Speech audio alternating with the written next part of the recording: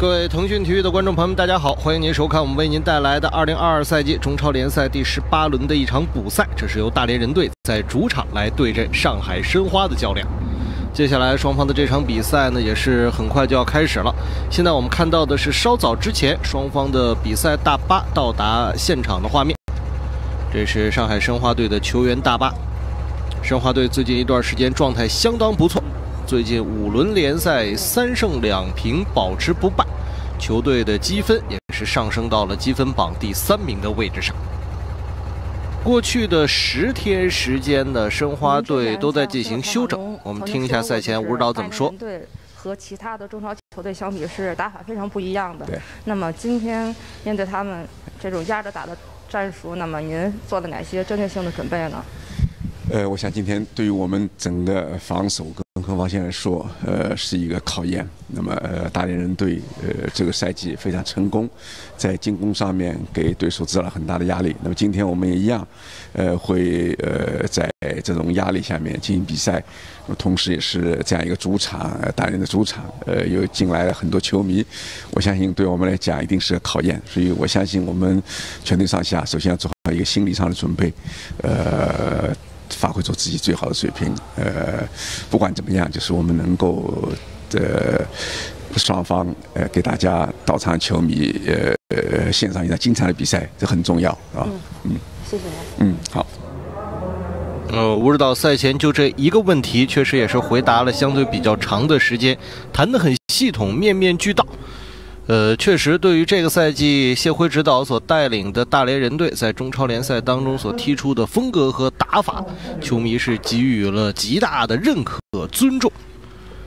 镜头刚才也是对准了特索涅夫的球衣，特索涅夫来到球队之后呢，确实也是即插即用，连续四轮比赛都有破门，而且是连场进球，这个其实对于整个大连人队的进攻又提升了一个档次。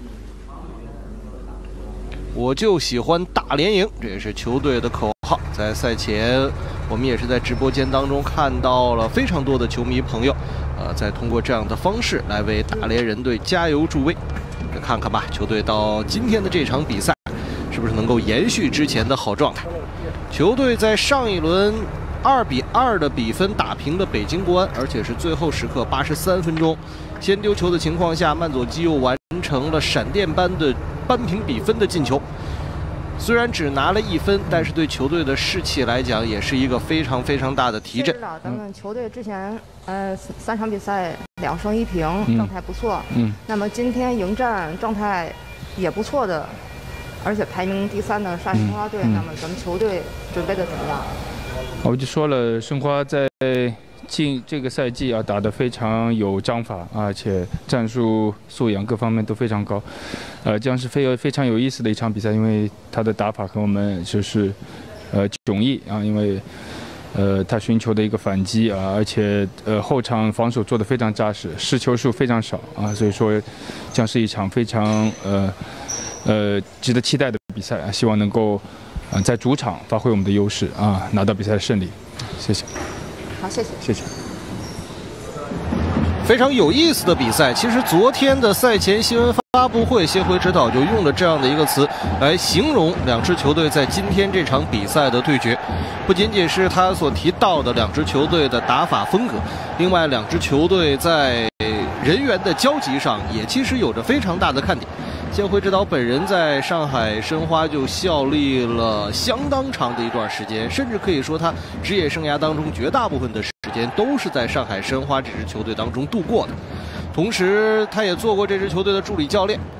另外呢，在申花的阵容当中呢，我们也可以看到非常多的大连籍球员的身影。一会儿我们盘点一下今天这场比赛的首发阵容，再给大家做一个详细的介绍。因此，双方的这场比赛今天也很像是一场老朋友的聚会啊！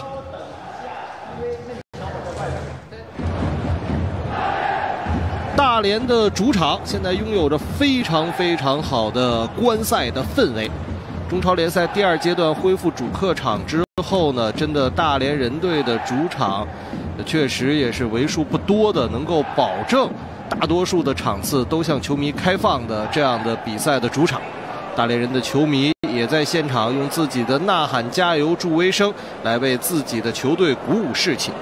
这样的好的互动，其实也为大连人队带来了第二阶段的好成绩。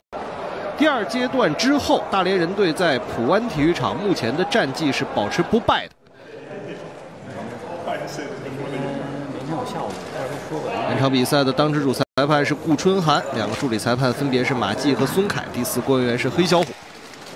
在上轮大连人队二比二打平了北京国安之后呢，最近三个主场是保持不败。在之前的两场比赛当中呢，也是五比一赢了深圳，二比一赢了河北，再加上之前打平海港，二比零赢了沧州，进入到了第二阶段之后，回到主场的大连人队战绩彪炳。今天这场比赛，他们也希望能够把自己这样的一个好成绩能够给继续下去。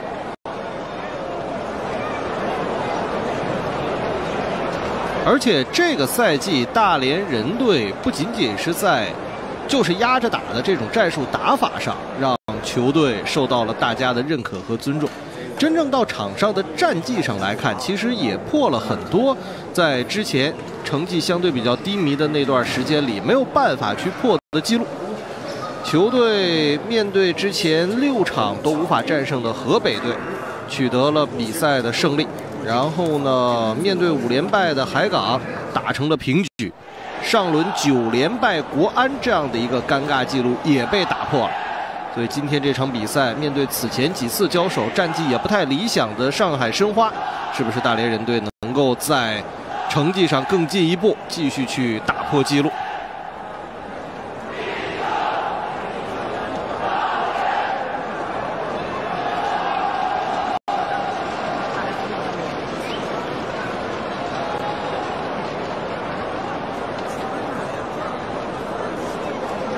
上海申花呢，在上一场的比赛当中呢，一比零的比分击败了梅州客家。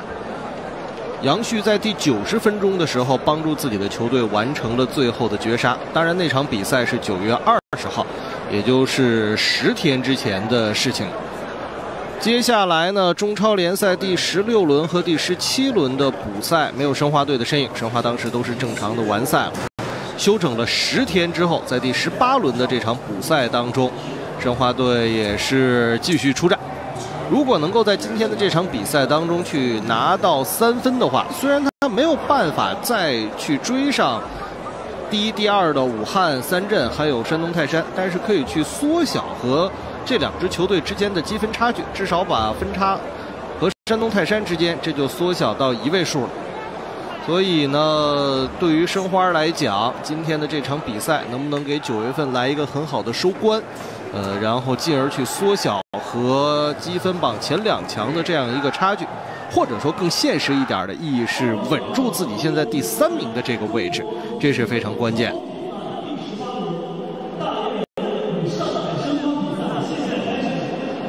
好，现场所有的工作准备就绪，这场比赛也是马上就要开始。我们即将看到的是两支球队在这场比赛当中的入场仪式。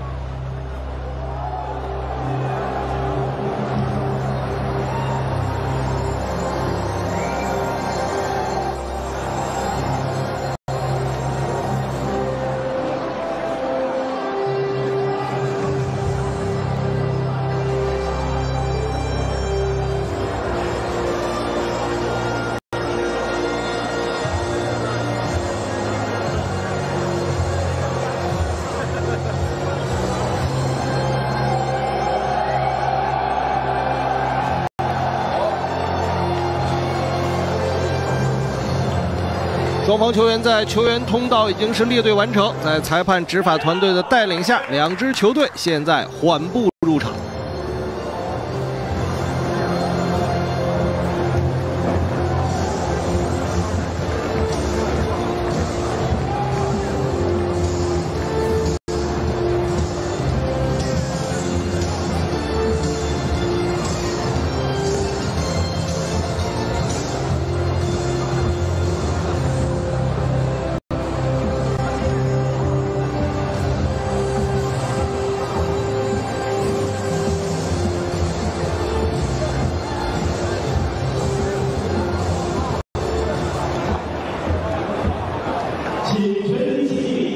接下来将会是双方赛前奏唱国歌的仪式。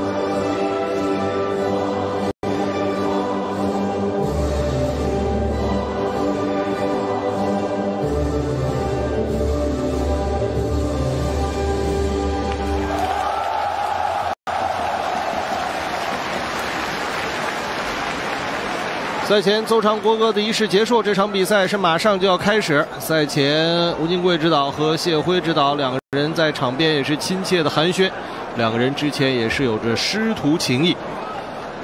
谢辉指导在球员时代在申花效力了十年的时间，除了留洋德国和在重庆踢了一年半，其他的时间都是在上海这座城市，在申花这支球队当中度过了自己的球员生涯。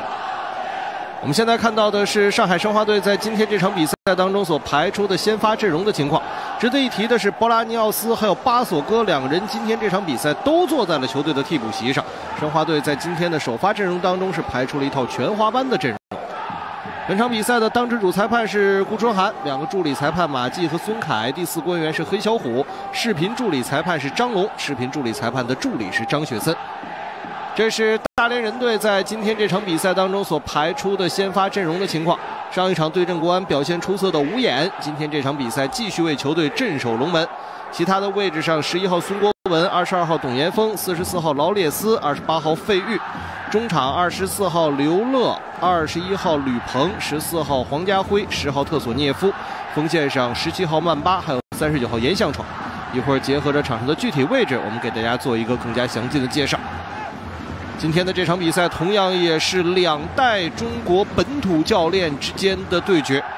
吴金贵指导在中国足坛打拼多年，有着极其丰富的带队经验；而谢辉指导这边呢，在之前不管是在中甲联赛的执教，尤其是这个赛季接手了大连人队的教鞭，在中超联赛当中给球队所打造出来的这种风格，也是让球迷朋友们非常非常的认可。在赛前新闻发布会上，谢辉指导就谈到了今天这场比赛将会是一场非常有意思的比赛。两支球队在场上的风格迥然不同，那么谁能够坚持自己的风格？谁能够凭借着自己的这种风格，在今天的这场比赛当中取得胜利、赢得尊重、赢得喝彩？让我们拭目以待。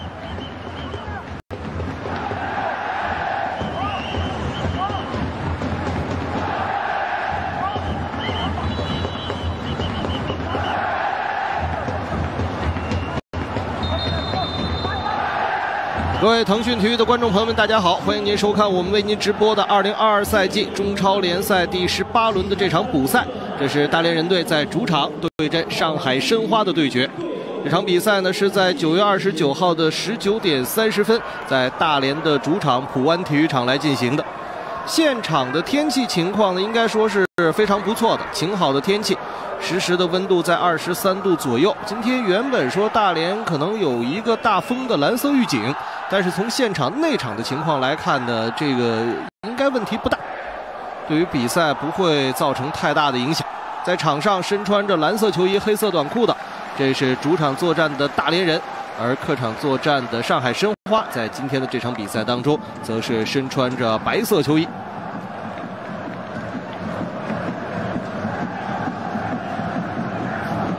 两支球队的首发名单，呃，我们在开场的这个阶段来给大家介绍一下。大连人队刚才提到了门将的位置上，三十号吴岩，其他的位置上，十一号孙国文，二十二号董岩峰，四十四号劳列斯，二十八号费玉，二十四号刘乐，二三十一号吕鹏，十四号黄家辉，十号特索涅夫，十七号曼巴，还有三十九号严向闯。申花这边呢，守门员的位置上，十九号曾诚，其他的位置上七号钱杰给，四号蒋胜龙，二十二号金阳洋，二十三号百家俊，二十一号朱宝杰，十二号吴曦，八号张璐，三十三号汪海建，二十号于汉超，还有九号杨旭。今天这场比赛，大连人队面对的是对方的全华班。谢辉指导这边呢，是把外援曼佐基放在了球队的替补席上。在首发的阵容当中呢，十号特索涅夫再加上十七号曼巴，这两名外援球员在今天的这场比赛当中先发出场。球队另外的一个外援博桑季奇在上轮的比赛当中受伤，而且博桑季奇的这个伤情可能还要休养一段时间，这个其实对于大连人队来说是阵容方面的一个损失吧。另外，在今天的这场比赛当中，最引人关注的是林良铭，林良铭也是回到了球队的替补席当中，今天这场比赛坐在替补席上。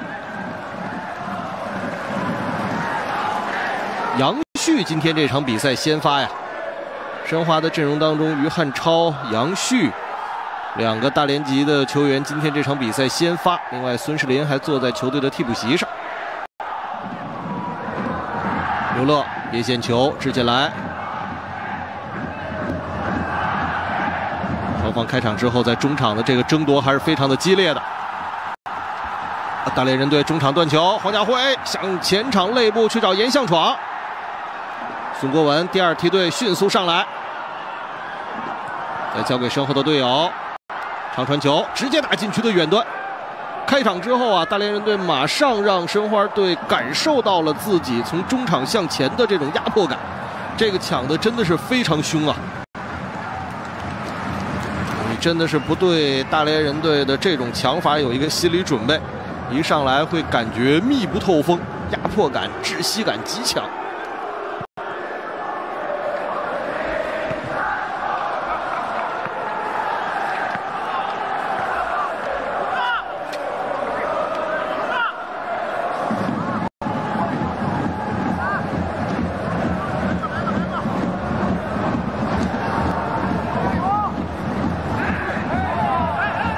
花队今天这场比赛呢，先在后防线上来收紧自己的防守，这也是球队在过往的比赛当中所采用的一贯的一个比赛策略。而这样的比赛策略也帮助这个赛季的上海申花队，尽管遇到了人员不整的问题，但是稳住了阵脚，提升了成绩。尤其是最近的五场比赛啊，申花队三胜两平，保持不败。吴金贵指导这风轻云淡。他强由他强，他横任他横。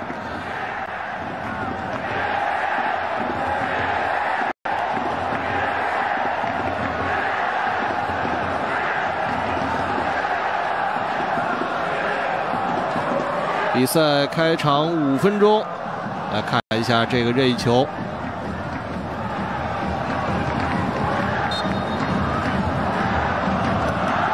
大连人队进攻线上四箭齐发，这球直接打到了门前，还是想找锋线上曼巴头顶的这个区域，但是球打得太深了，这球比较靠近守门员，曾诚直接出击，把这球稳稳的拿到。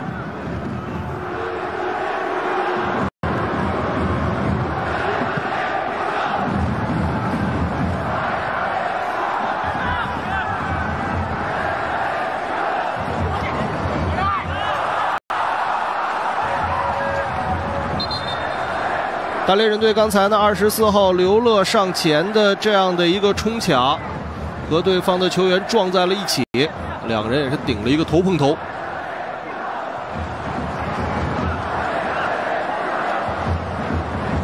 再来看一下啊，刘乐的这一个冲抢，跟他对位的是二十一号朱宝杰，朱宝杰的后脑也是被刘乐的额头给顶了一下。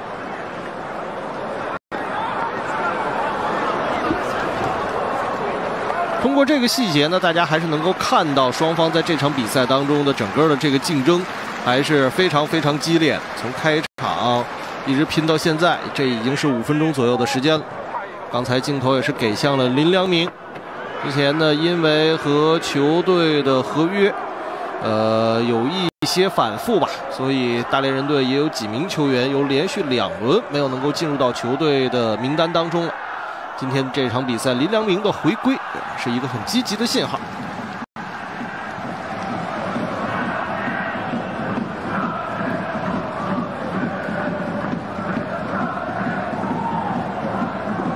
董岩峰向前的直传球，飞鱼再把球交还给身后的队友。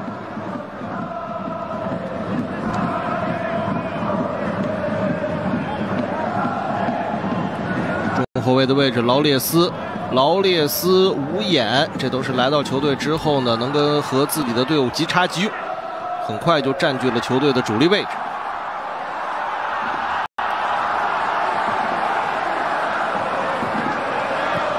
边路的这一侧，这是刘乐，王家辉，劳列斯，这直接打前场的右路。孙国文头球摆过来，严向闯在这一侧的接应，右路有机会传中球往中间送，这球脚法运用的并不是特别的好，球直接打到了禁区的远端。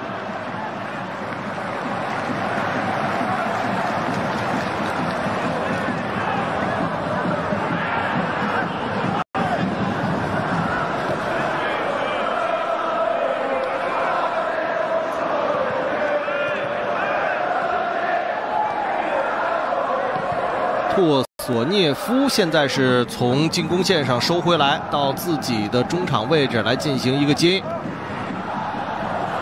小传要去找进攻线上的严向闯，严向闯这一下呢，第一下的停球调整不错，但是被对方已经是逼到了底线附近，还是没有能够很好的顺过来。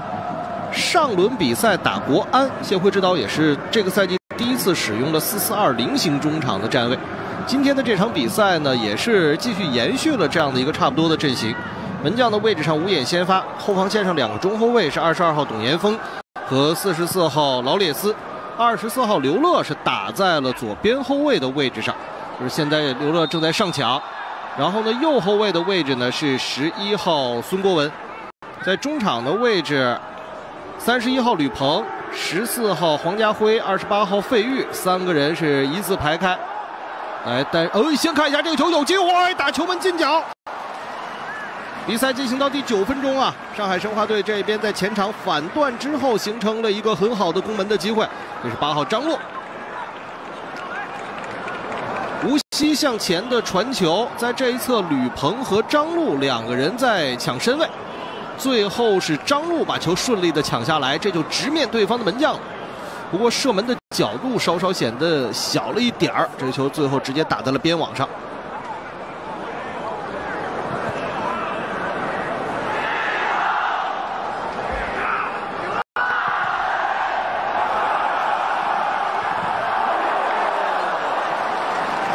然后呢，今天这场比赛，大连人队在三个后腰的身前是十号特索涅夫来组织串联球队的进攻。锋线上，十七号曼巴，再加上三十九号严向闯，两个人在进攻线上撑起球队的进攻空间。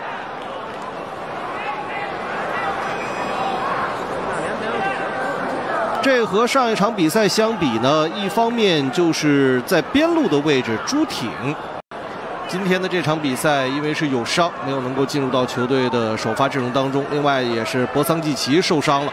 今天这场比赛同样没有能够进入到大连人队的大名单当中。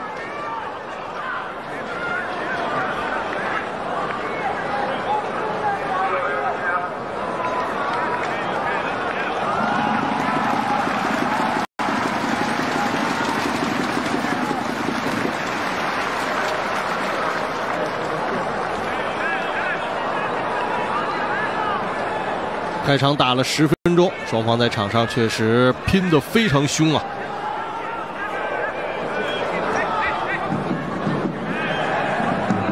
吕鹏在边路来治这个边线球，特索涅夫这边过来接应一下。无锡队他也是寸步不离，这个球给到严向闯的面前。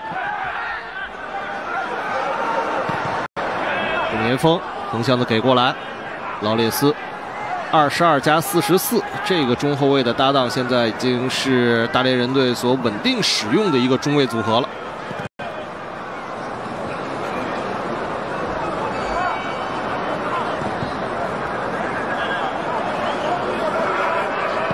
而且在大连人队现在的这个中前场的体系当中啊吕鹏这两场比赛他的位置要打的更加的靠前中场后腰扫荡的职责更多被安排在了十四号黄家辉的身上。年轻，打中卫出身，然后在正面的这种防守能力也强。上一场打国安的时候呢，甚至大家能够看到吕鹏多次打到国安队禁区前沿的这个区域，还和特索涅夫两个人完成了一个复制足球小将的经典的双人射门。开场的十二分钟，大连人队的控球率打的还是非常的高的。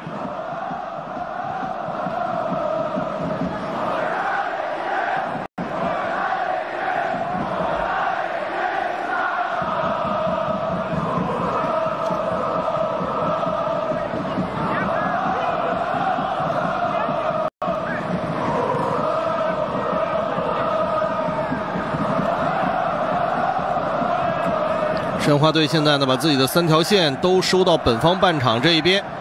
面对大连人队在中场的这种传导，申花队防守的这个态势还是非常的明显。特索涅夫现在拉出来，然后董岩峰都已经是上到了这个位置，往边路给刘乐，还是董岩峰在找起脚的机会，外围直接的一脚打门，这球打球门的近角。大连人队的这个进攻呢，就像蓝色的波浪一样，一波一波的往前的去冲，拍打着白色的礁石。刚才这个空间已经拉开的足够大了，最后是由中后卫董岩峰在这个位置尝试了一脚直接的外围远射攻门，球是打向了球门的近角，最后是稍稍偏离了目标。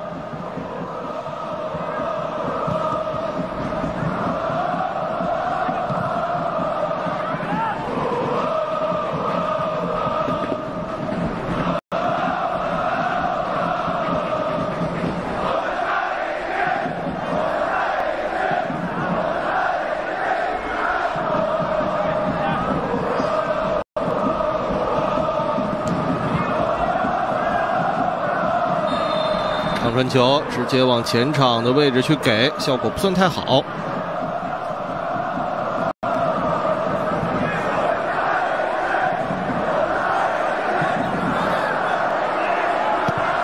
边路的进攻，传中球，这球直接往门前打。在禁区内的这个位置呢，刘乐也是不敢大意，把球直接给顶走了。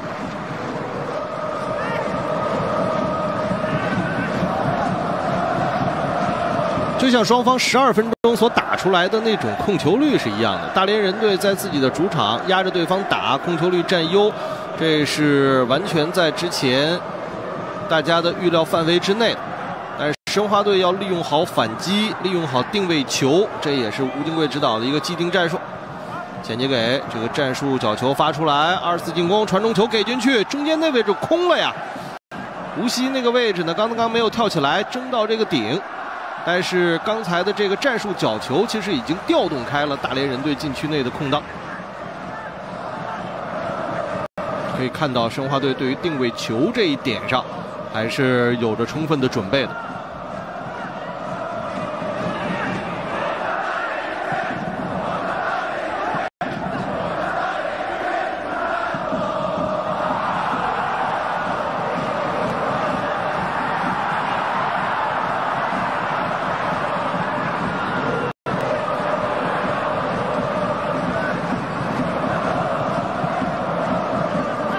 向的转移过来，董岩峰、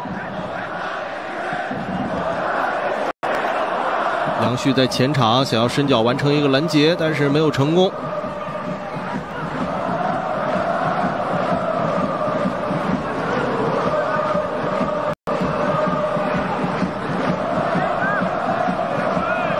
吴曦这一侧现在也收回来。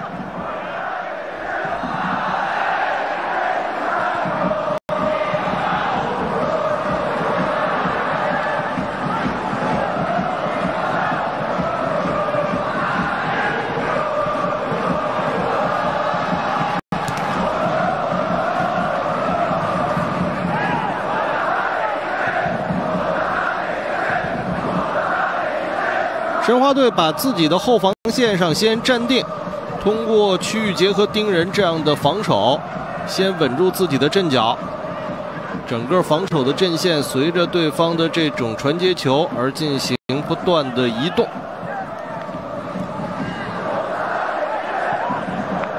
现在还没有给大连人队太好的能够直面自己球门的机会。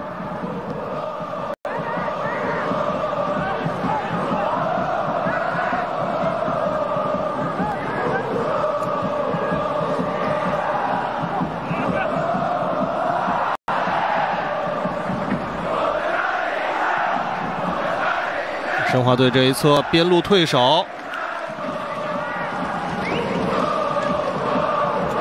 申花队现在在自己右路防线的这边呢，张路收回来，然后呢进攻线上二十一号朱宝杰也撤回来，对这一侧来进行一个有效的保护，效果还是很不错。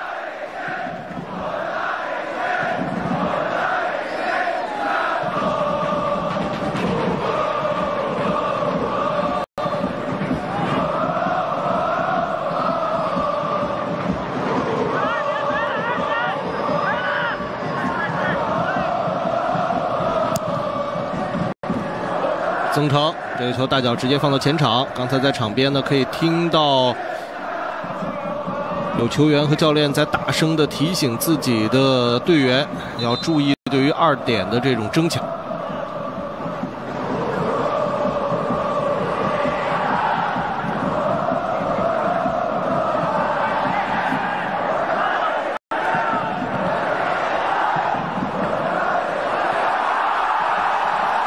锋线上，曼巴这个球第一时间领到了自己的脚下，特索涅夫拉开空当，这边有机会起脚打门。曾诚的这个扑救太关键了，这球打在了防守球员的身上，发生了一个变向，然后曾诚在已经倒地失去重心的情况下，伸掌一拍，把这球给挡出去了。大连人队的二次进攻过来了，远端小角度，严向闯没有能够完成攻门。朱宝杰也是快速。头球把这个球点出了危险区，大连人队在中场重新拿球来进行控制。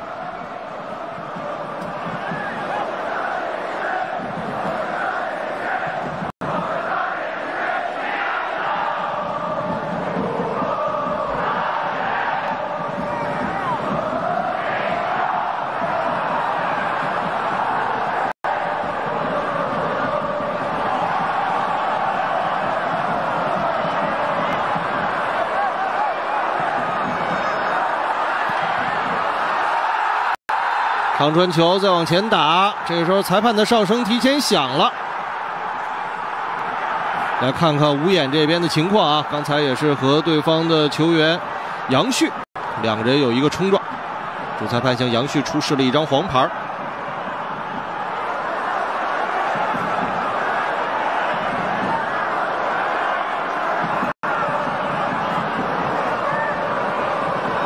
再看一下这个呢，就是吴眼先到了，然后大脚把这个球开出去，杨旭倒地想要拦一下，但是呢，他的这个倒地直接带到了吴眼的脚踝。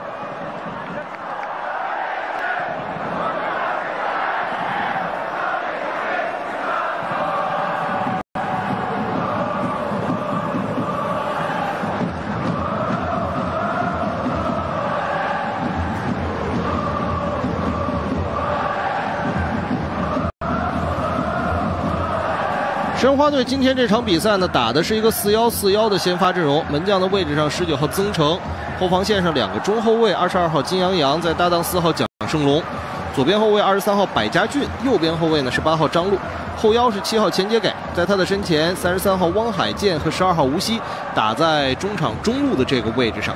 左边路是二十号于汉超，右路是二十一号朱宝杰。然后呢，锋线上顶在最前面的是刚才吃到黄牌的九号杨旭。杨旭的这张牌儿也应该是主裁判在今天的这场比赛当中所出示的第一张黄牌，五眼的问题应该不大。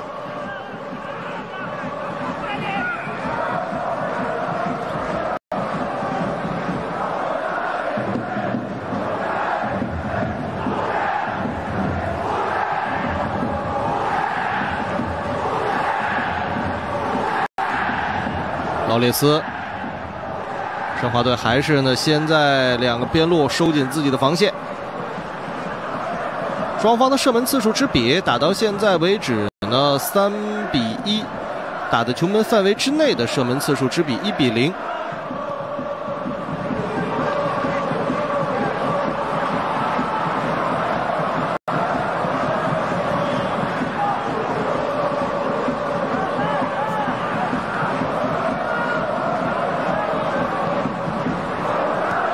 劳列斯往边路转，大连人队的这种层层推进、向前压迫性的打法，其实对于中后卫的持球和出球能力也是有着比较高的要求的。从劳列斯脚下向前的这种出球、分配球的处理，在今天这场比赛前二十多分钟的时间里，大家可以看到还是比较明显的。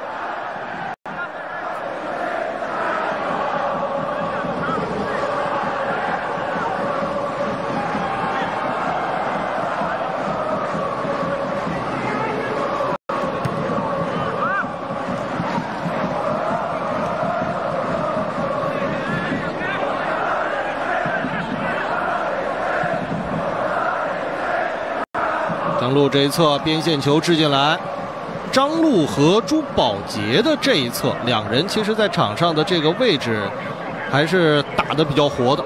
防守的时候呢，朱宝杰收的可靠后，对于张路身边的这个区域形成一个非常好的保护。而进攻的时候，其实我们也可以看到张路向前的这种参与感也打得很强。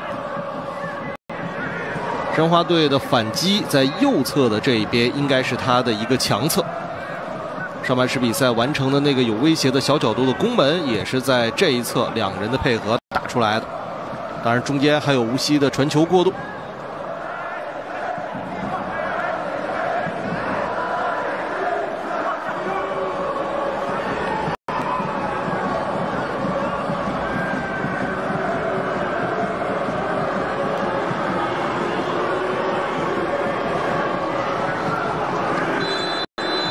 再来看一下这个角球，前期给这个角球直接给到了中路的位置。对于申花来讲呢，今天的这场比赛还有实实在在的成绩和排名上的压力。十八轮的补赛最早进行的是海港和成都蓉城的那场球，现在已经是完赛。海港是吕文君首开纪录，然后吴磊打进了回归之后的首粒进球和第二粒进球。独中两元，帮助球队三比零击败了成都蓉城。那这样的话呢，在实时的积分榜上，海港是十八场比赛拿到了三十四分，现在先占据了积分榜第三的这个位置。申花如果在今天的这场比赛当中能够全取三分，那将会超越海港，在九月份结束的时候是积分榜的第三。拿一分呢，积分和海港持平。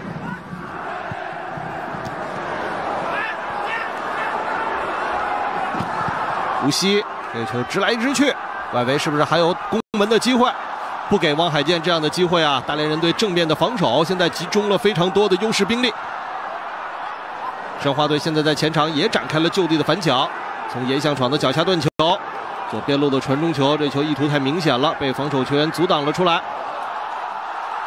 大连人队的反击，曼巴闪开对方的第一名防守球员，给球的位置靠近边路。上海申花队的球员现在是全速回防，曼巴一挑二，这球还留在了申花队的禁区里，横传球给到点球点附近，中路的一个大脚解围，终于把这球破坏出去。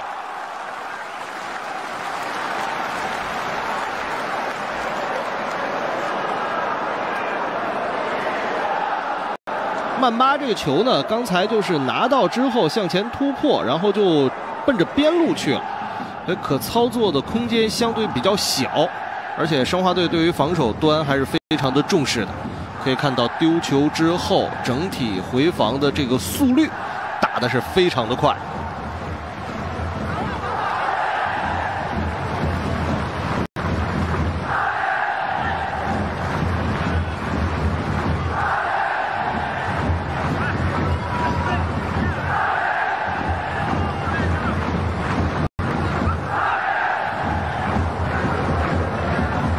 头球，这球直接被十四号黄家辉头球点出了边线。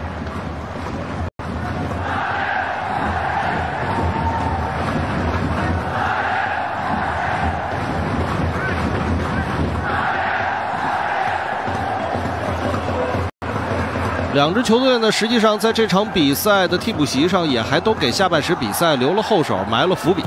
先看这次进攻，王海建传中球，禁区远端，无锡拿到了皮球。大连人队两名球员过来的收缩防守，前接给，直接的一脚传递给到边路，于汉超一对一面对孙国文。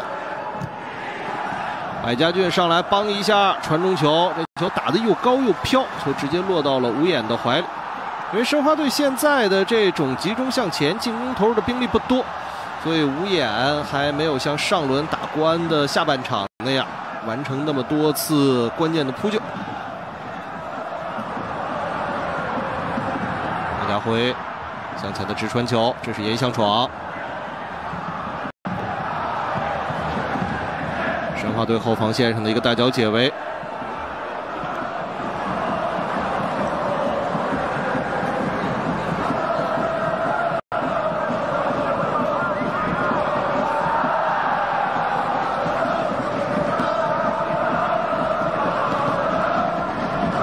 曼巴在交还给自己的后场，特索涅夫今天这场比赛啊，因为他要收到中场的这个位置来进行进攻的组织，多次的位置打的都相对比较靠后，接近后防线要球，然后呢再往两个边路来进行皮球的输送，看看随着时间的推移，他对进攻一端的这种参与感会不会再多一些。大连人队边路的进攻，传中球给到远端，张路的甩头解围，把球直接破坏了。像这种直接的传中球啊，也已经试了几次了，现在看呢，成功的概率不算太高。申花队这边本身就集中了比较多的防守兵力。这是大连人队这场比赛的第一个角球，德索涅夫给终点。禁区内的第一落点被申花队的防守球员顶出来。来看一下申花队的反击，也是在等这样的机会啊。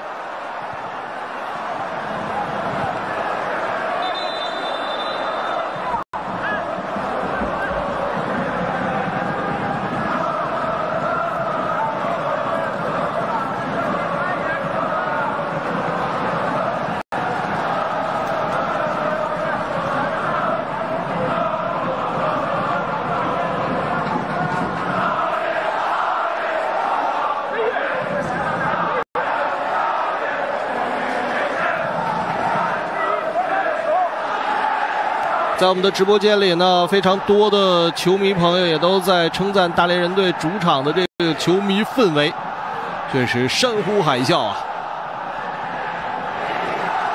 我们中超联赛的宣传的短片当中，还专门有谢辉指导的采访，只会越来越好。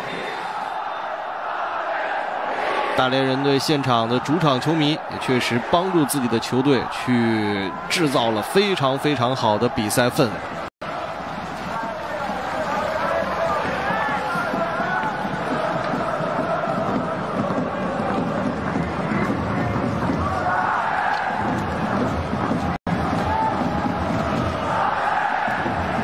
上半时比赛打了半个小时的时间，场上的比分目前是零比零平。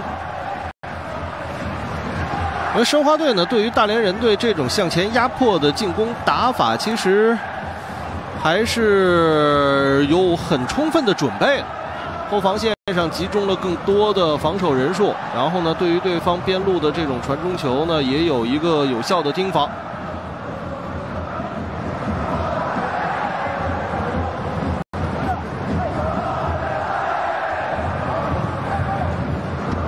大连人队前半个小时的时间，两个边路的进攻呢，打了几次这种四十五度角的传中。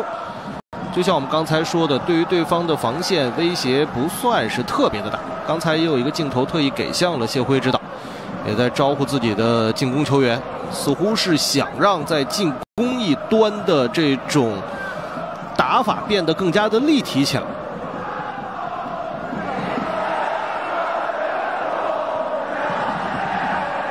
科索蒂夫，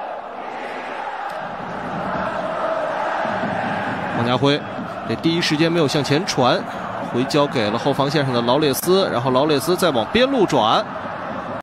在这一侧，大连人队也还是有着充分的兵力的。二十八号费玉拿球，这球是吹了于汉超在边路的犯规。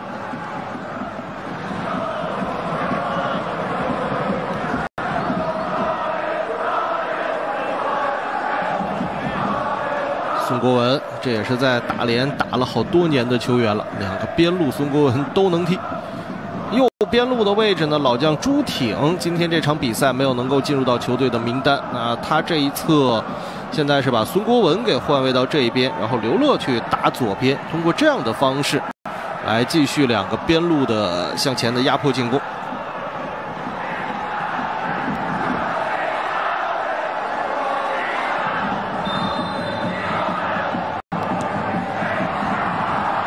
任意球，这球直接打到禁区里，从危险的区域划过，这球也是差点啊。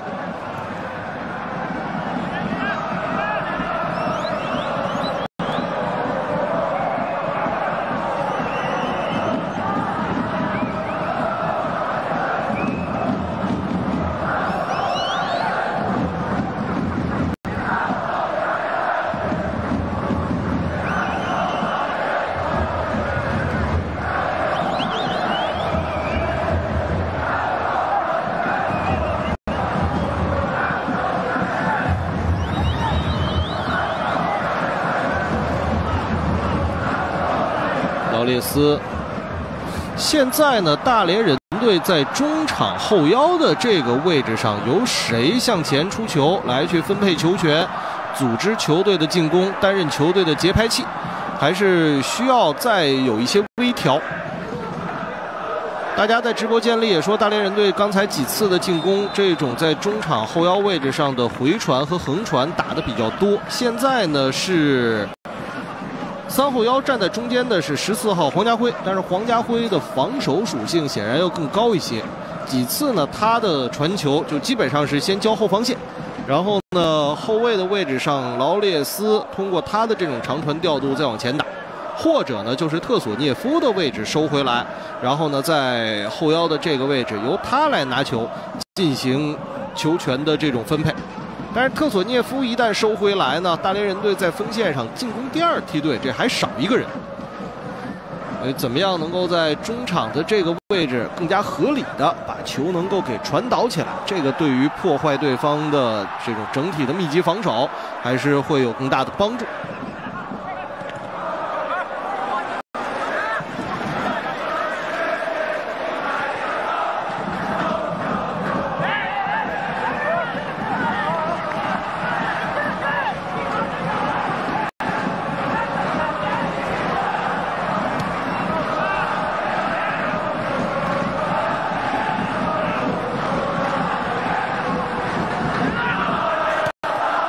后场直接大脚解围，头球点下来，严向闯，特索涅夫交给身后的队友，边路的空当出来了。哇，这个球传跑的位置稍差了一点点，传的方向绝对对，但是力度稍微大了一点儿。然后呢，孙国文这边的前插啊，第一脚这个速度也没有能够完全的蹬起来，但是这种前场的进攻配合速度打出来了，空当也扯出来了。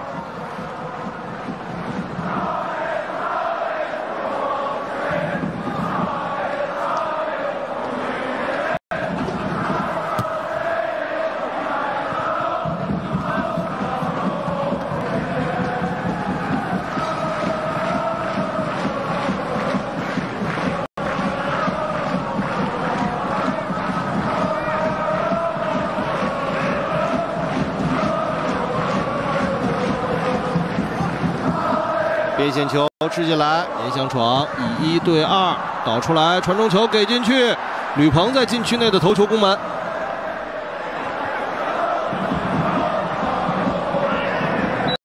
双方在中场位置上的争顶，这球刘乐的手上有一个动作，带倒了朱宝杰，裁判也是直接鸣哨。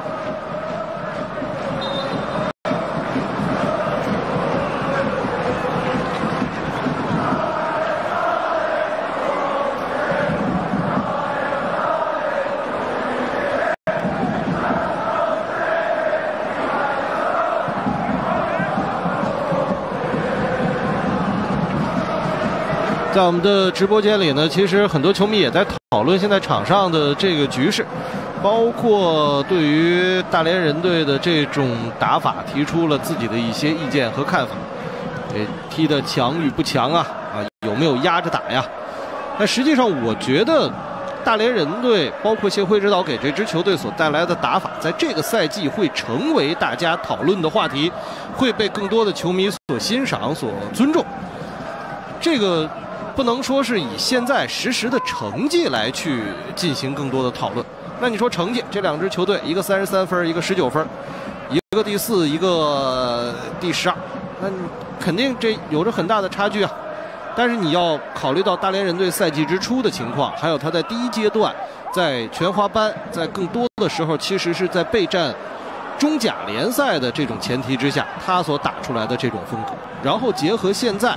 大连人队在场上的这种表现，你还要去考虑整个中超联赛这样的一个大环境。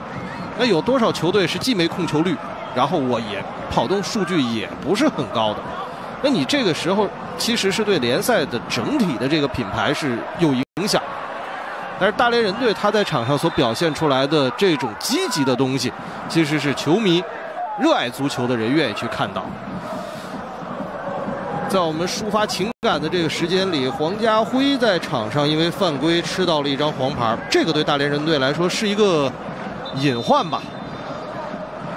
黄家辉后腰，而且是后腰打门刃的这个位置，中后卫身前要依靠他来去扫荡、排雷，这么早半场不到先吃一张黄牌。这个会给接下来比赛大连人队的防守带来一些隐患。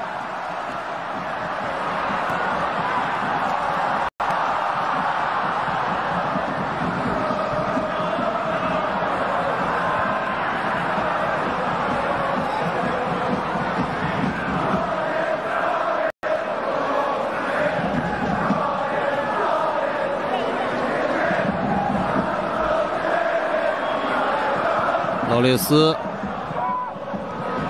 董岩峰两个中卫之间横向的传递。现在就是刚才我们说的那个问题，特索涅夫要回来去接，但是呢，特索涅夫接完之后，这个球继续向哪边分配？董岩峰这边上来，董岩峰继续大胆的向前压上。大连人队真正形成的有威胁的攻门，然后开场之后，在对方禁区前能够占据优势的时候，还得是用密集的进攻去破密集的防守。要知道，有一次射门，而且是很有威胁的打门，是董岩峰完成的呀。中后卫还是得上。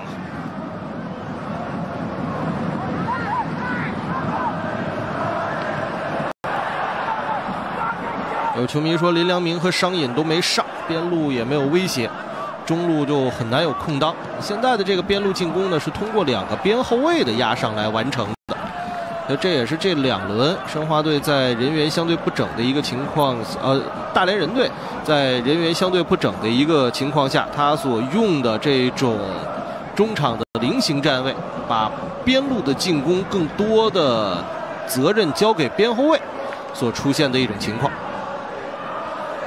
上半时比赛打到现在，谢辉指导显然对于球员在场上的一些细节不是很满意，这脸上的面部表情也很容易就解读出他的心情。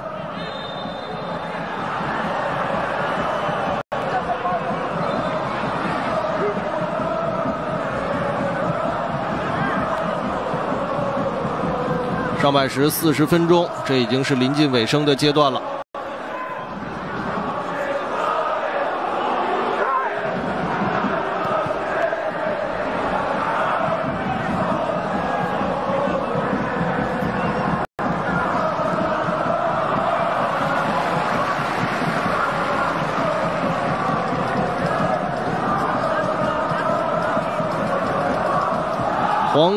会刚才所吃到的那张黄牌，是他这个赛季的第四张黄牌，下一场比赛要停赛。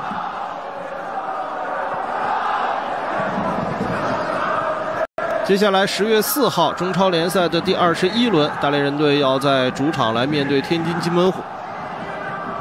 中超的赛程赛会制结束之后呢，原本是希望恢复主客场，赛程能够变得相对宽松一些。然后呢，恢复主客场，其实对于球迷、对于各支球队来说也有很多的好处。但是疫情的这种反复，其实也带来了更多的变化。堆到了九月底、十月初的这个时间段，赛程还是相对的比较紧的。大连人队这已经是连续打了多场比赛了。你看，九月二十号打完河北，然后二十四号马上打国安。然后现在就是对阵申花的这场比赛，然后申花是九月二十号之后呢歇了九天多，将近十天吧，然后再打这场球。但是这个账是怎么算的呢？你再往前，八月二十八号打完，然后九月一号打完深圳之后，大连人一直等到了九月二十号才打河北。这种赛程的调整，其实对于球队的备战也是会提出一个。更多的挑战吧。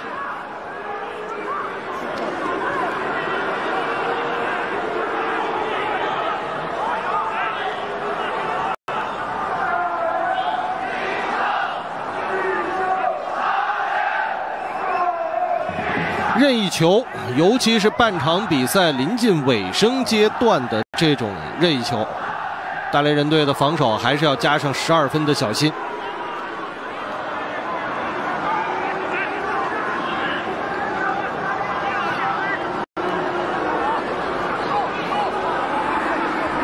申花队上半时比赛呢，明显是收着在打，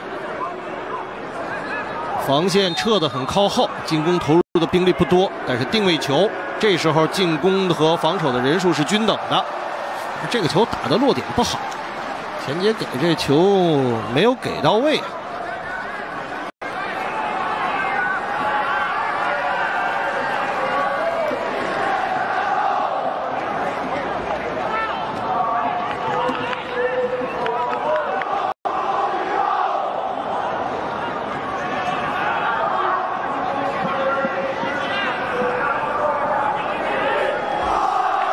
吴彦上半时的这个忙碌程度和上一场比赛打国安相比还是有所下降。看看到了下半时，申花这边两个外援，尤其是像巴索戈这样的外援还放在替补席上呢。巴索戈是在这十天的休整时间里呢伤愈复出了，但是曹云定球队的队长边路进攻的利器。在上一轮大腿肌肉出现了拉伤，今天的这场比赛也还是踢不了。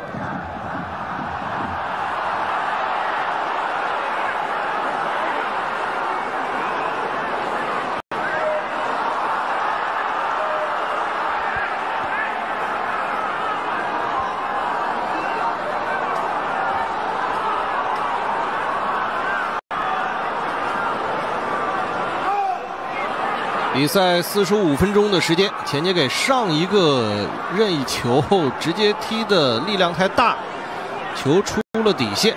现在看看这个球，经过了上一个调整之后，这一次效果会不会能打得更好一些？这球又搓得太近了，当然距离也要比上一个球会更远一些，所以这个脚法的运用力道还是没有完全掌握好。上半时比赛一个两分钟的伤停补时。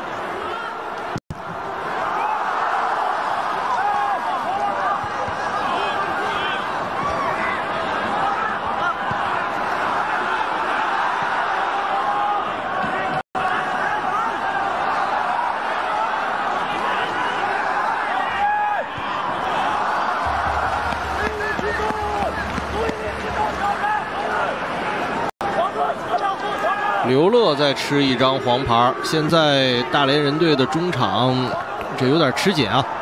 刘乐一张黄牌，黄家辉一张黄牌，这都是中后场的防守球员，这会在下半时的比赛当中限制大连人队的球员在场上的防守的动作。双方的传球二三六比九十九，传球的成功率大连人队在百分之八十以上，但是申花这场比赛整个上半时的这个传球成功率打的确实，呃，有点难看。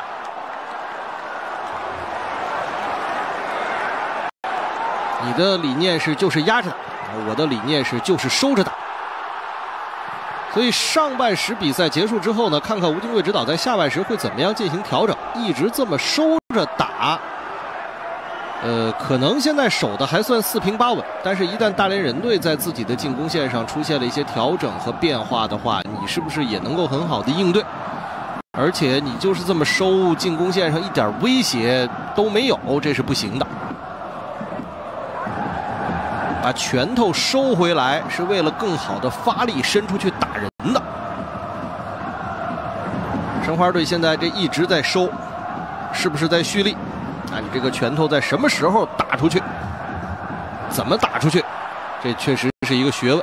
这个球错进错出，吴眼的大脚开到了杨旭的脚下，但是杨旭显然对这个馅饼也没有心理准备。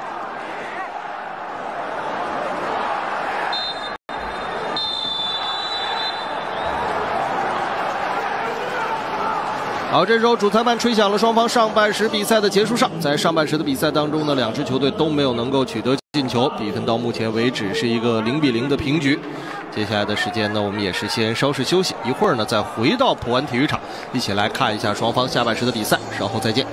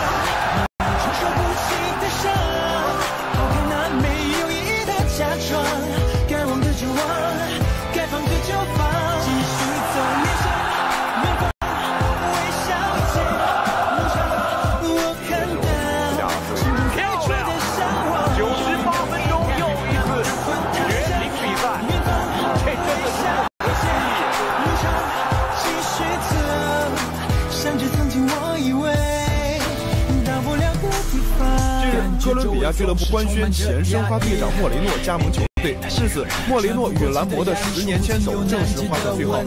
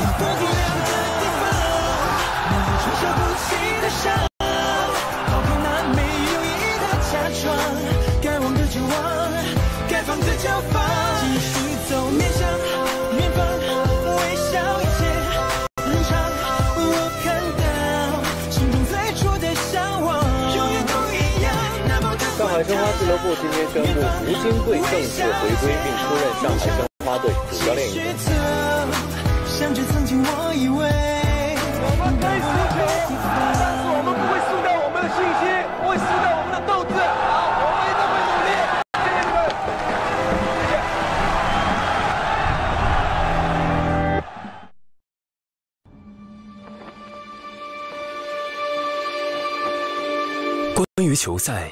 最美妙的声音是什么？是开场的一声长哨，是皮球钻入网窝的声响，还是进球瞬间的嘶吼？或许这些都是，但他们都离不开那最重要的背景声，来自看台的山呼海啸。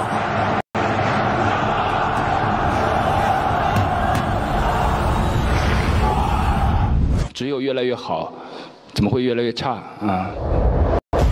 九百七十八天的等待终于结束熟悉的一切都将归来。带着热爱与信仰他们将重返那座心中圣地将呐喊还给天空让激情重新点燃。聆听震耳欲聋的欢呼他们将再次登上战场。跃进世界波进球。迈向崭新纪元心中狂热不灭。看中超来腾讯。一起为城市而战。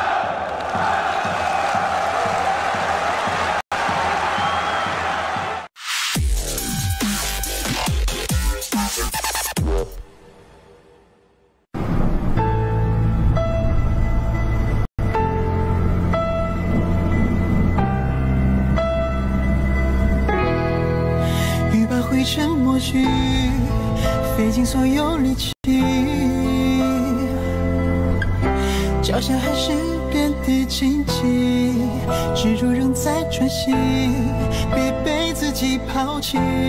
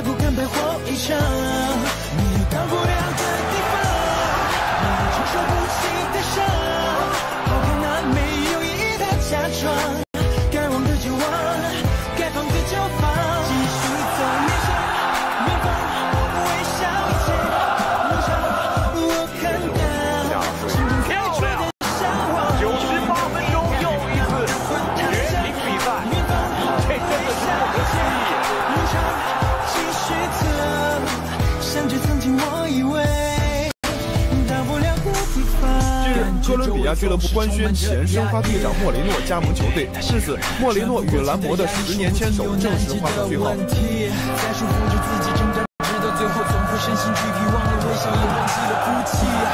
再忙目的呼吸，背起勇气前进。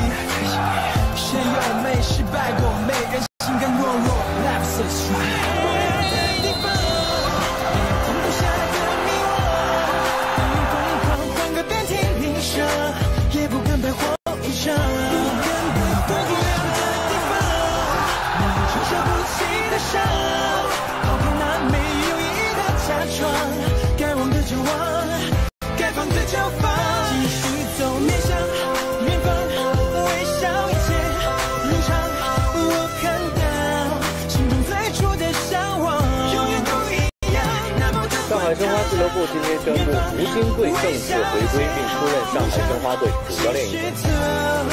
像着曾经我以为，我们可以输球，但是我们不会输掉我们的信心，不会输掉我们的斗志。好，我们一定会努力。谢谢你们，谢谢。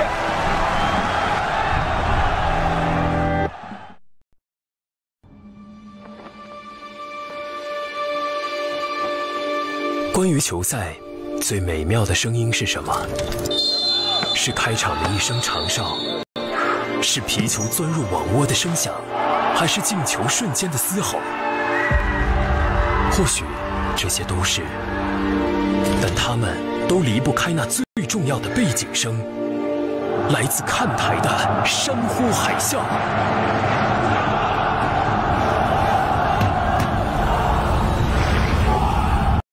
只有越来越好，怎么会越来越差啊？九百七十八天的等待终于结束，熟悉的一切都将归来。带着热爱与信仰，他们将重返那座心中圣地，将呐喊还给天空，让激情重新点燃。聆听震耳欲聋的欢呼，他们将再次登上战场。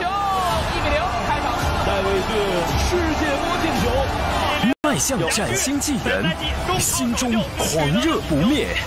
看中超，来腾讯，一起为城市而战。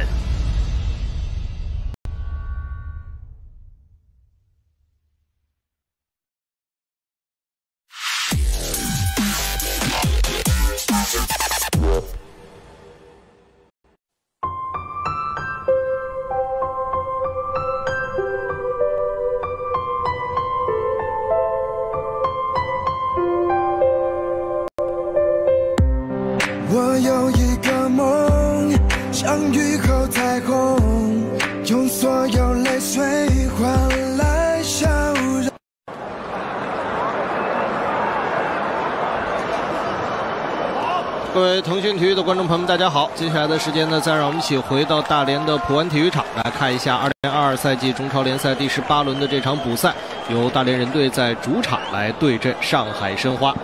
接下来呢，双方下半时的比赛也是马上就要开始了。下半时大连人队应该是要做调整，首先这队长袖标是戴在了吕鹏的手臂上。上半时球队的场上队长是严向闯，那肯定是锋线上，现在大连人队进行了一个换人。大连人队在上半时的比赛当中呢，确实也是占据着场上绝大多数的优势吧，控球率占优，传球次数占优，射门占优，射门的射正占优。好，果然啊，下半时比赛申花队这边进行的换人调整是换下了于汉超，换上的是巴索戈，外援前锋替补登场了。另外，在大连人这一边，七号林良铭在下半时比赛一开始也是披挂上阵。双方显然对于上半时零比零的这一个比分和在场上的比赛过程都有不满意的地方。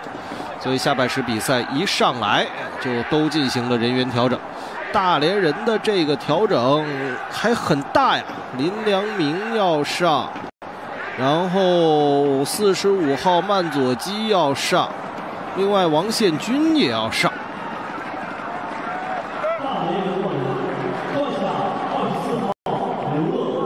刘乐身背黄牌被换下。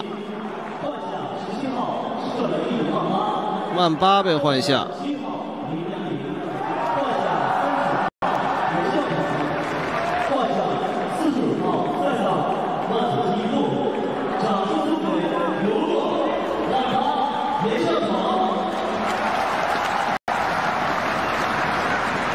上半时比赛，球队顶在进攻线上的两名球员现在都被换下了，大连人队重新构造了自己的攻击线。是不是能够有更好的一个发挥？让我们下半时的比赛当中一起来看一下。而上海申花这边呢，思路很清晰。巴索戈下半时比赛一上来，球队在反击的过程当中将会变得更加有威胁，这也是大连人队的后防线需要重点去注意的。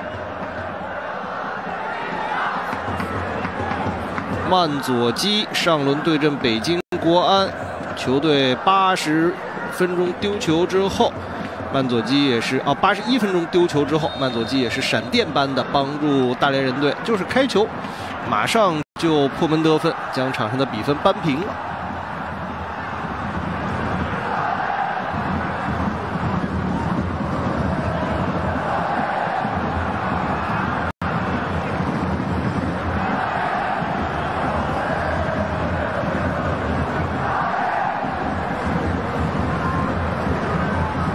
列斯，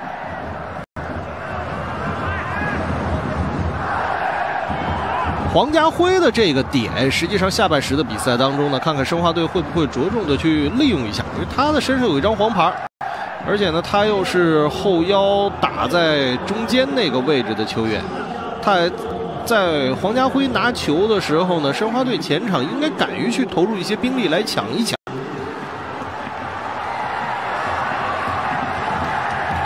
巴索戈，这也算是大连人队之前的苦主啊。上个赛季两支球队的比赛啊，不缺乏进球。上个赛季，先看一下这个球，头球攻门，一上来呀，第一个角球的进攻，大连人队就打出了进攻的威胁。四十五号曼佐基的头球攻门，这球罚的点稍稍有点靠前。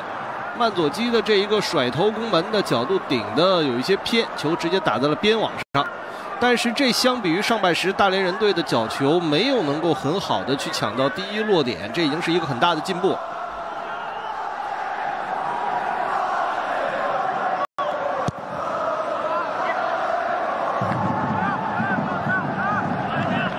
两支球队下半时比赛一上来都进行了调整，一边是进行一定程度的微调。大连人队这一边则差不多重新构建了自己的进攻体系，究竟哪边的效果更好？大家一起拭目以待。刚才说巴索戈上个赛季面对大连人有过破门得分，双方最近的一次交手，上海申花四比二的比分击败了大连人，在那场比赛当中，巴索戈也是独中两元。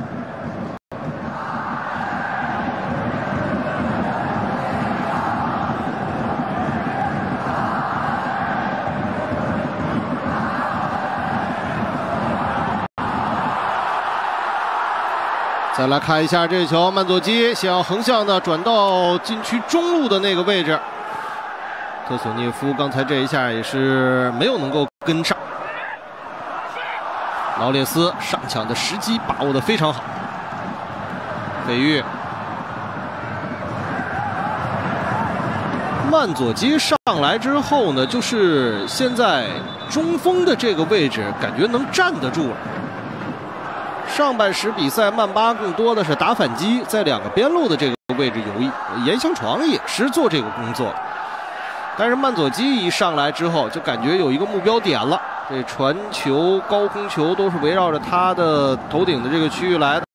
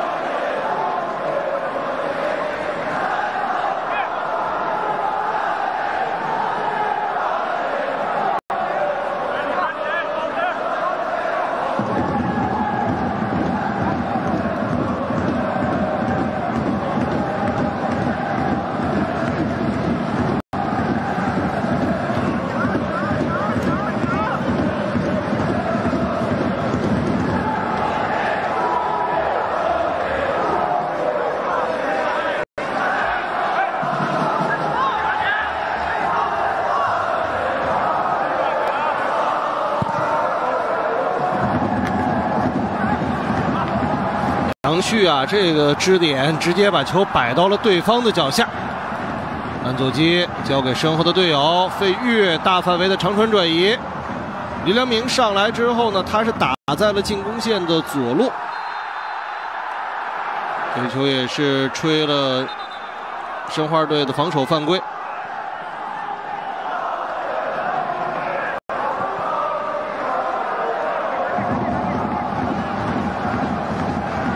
斯。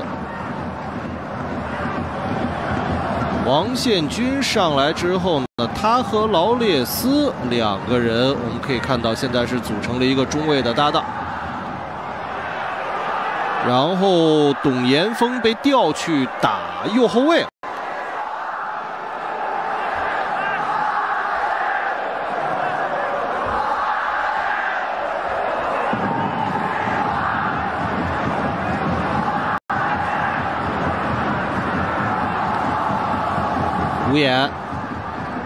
王宪军，这球大脚直接去找前场的队友曼佐基，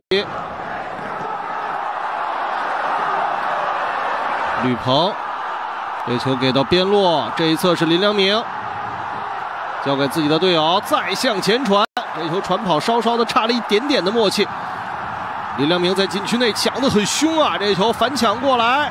大连人队还有机会，申花队已经全线收缩防守，禁区内的防守太密了。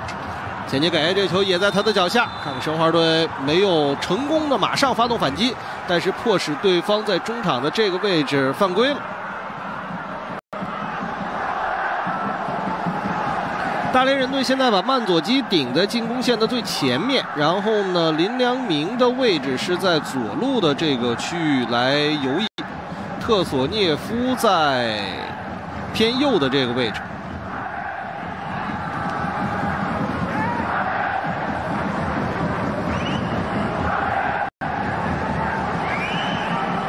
然后中场吕鹏、黄家辉还有费玉，后防线上的董岩峰代打右后卫，孙国文换位回到了左边。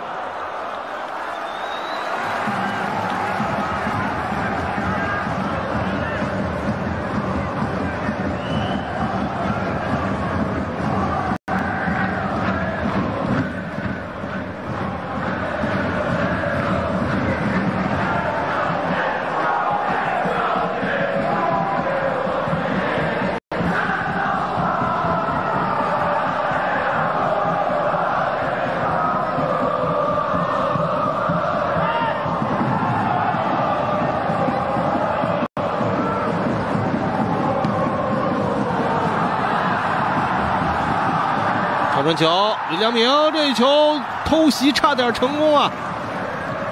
林良铭上来之后呢，可以看到在前场打得非常活跃，非常积极。刚才他一直压着蒋胜龙，蒋胜龙这球没有办法很舒服的处理下来，第一下没有能够触到球，然后林良铭就从后面不断的往前压，希望能够把球权给夺回来。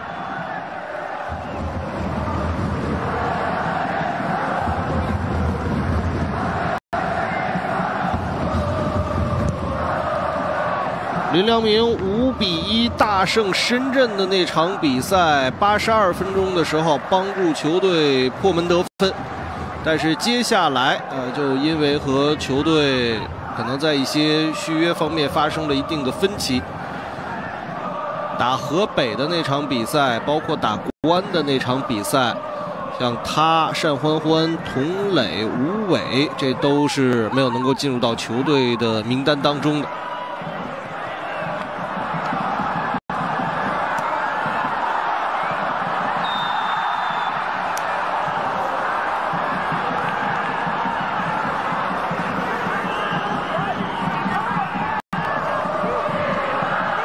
林良铭一上来，然后再加上孙国文回到了左路的这个区域，就感觉把张路，申花队的右边后卫给直接压回去了。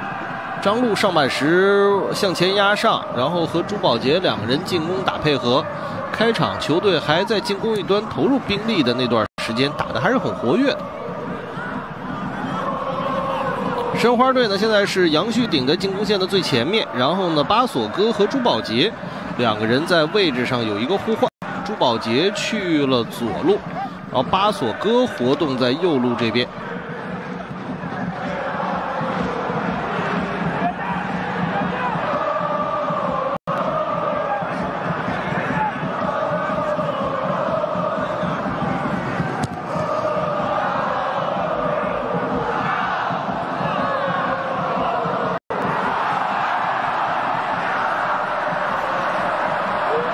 中路防守人员非常的密集。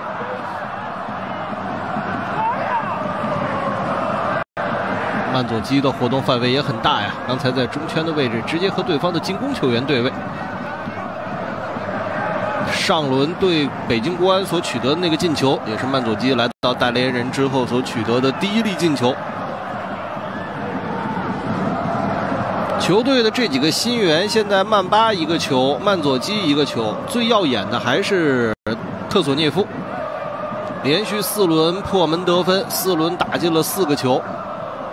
林良铭现在是大连人队内的头号射手，打进了六个球，然后就是打进四个球的商业。特索涅夫之前大连的媒体还说，要是按照这个效率，这完全有可能竞逐半程的队内最佳射手。但今天这场比赛呢，特索涅夫离对方的禁区，个人的感觉位置还是有点远。大连人队现在怎么样能够把自己中路的这个进攻梯队投入的兵力更多一些？特索涅夫不用在中场的这个位置，要是既当爹又当妈，那可能他的前插的这个范围就会更加的深，效果可能会打得更加的好。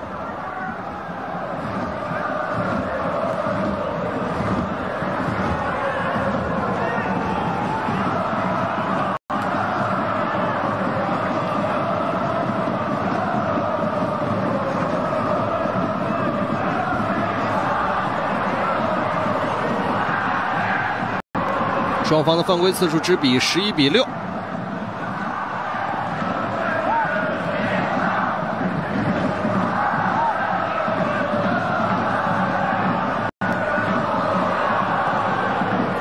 曾诚这球大脚放到中场，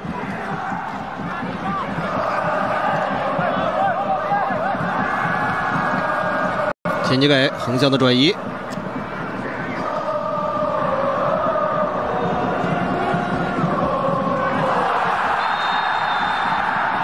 这个球是吹了无锡在中线位置上的犯规。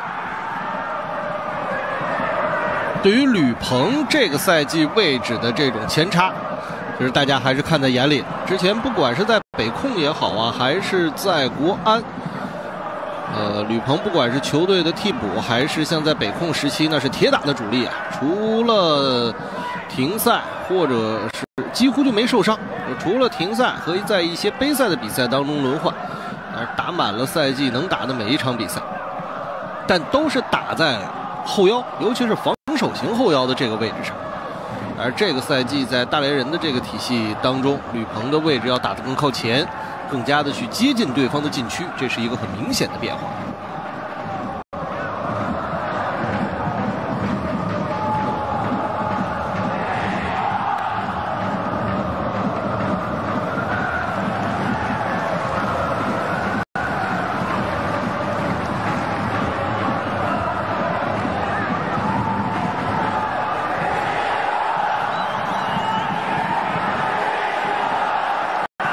角球，两边都没有办法通过运动战破门，定位球还是破局的关键。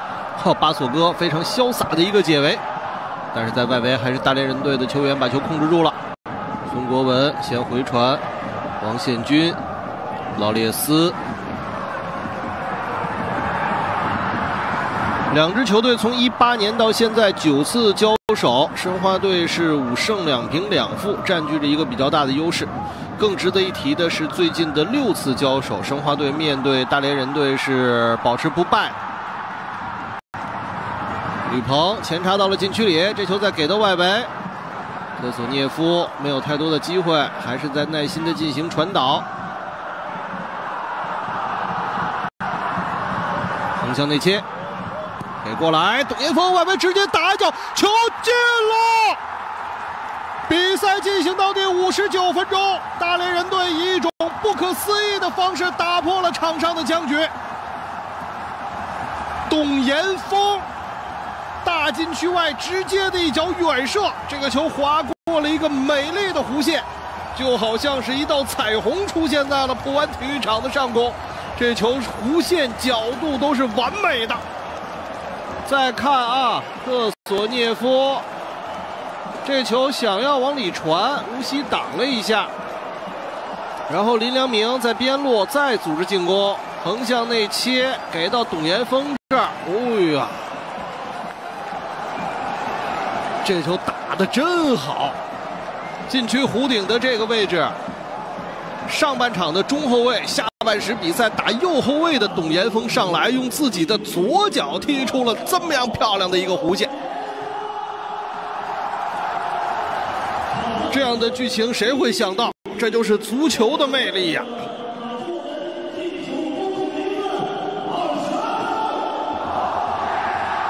这是董岩峰个人在本赛季中超联赛当中的第一个进球。在之前，如果有人能未卜先知，告诉你董岩峰这场比赛就会进球，那可能你会想到一个定位球，中后卫的头球攻门，或者像上半时他那种插上外围角重炮的远射。但是，这样的远射方式。非常轻巧、漂亮的彩虹进球，这个太不可思议了。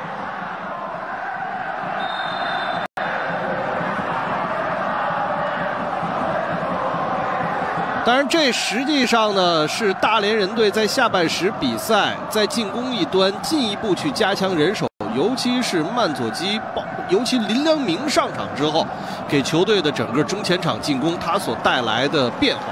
破密集防守最好的方式是什么？还得是密集进攻。就我进攻线上的人数足够多了，我通过刚才这样的传导，就哪怕你无锡能够封住一点，但是我还是这个球出来，我外围还能把它捕捉到，我继续投入进攻。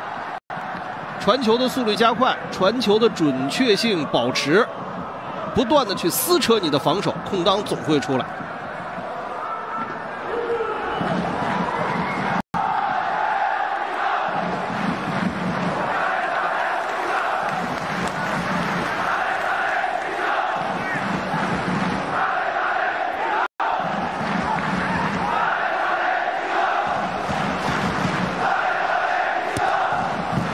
传球给进去，禁区内的第一落点，防守球员破坏出来。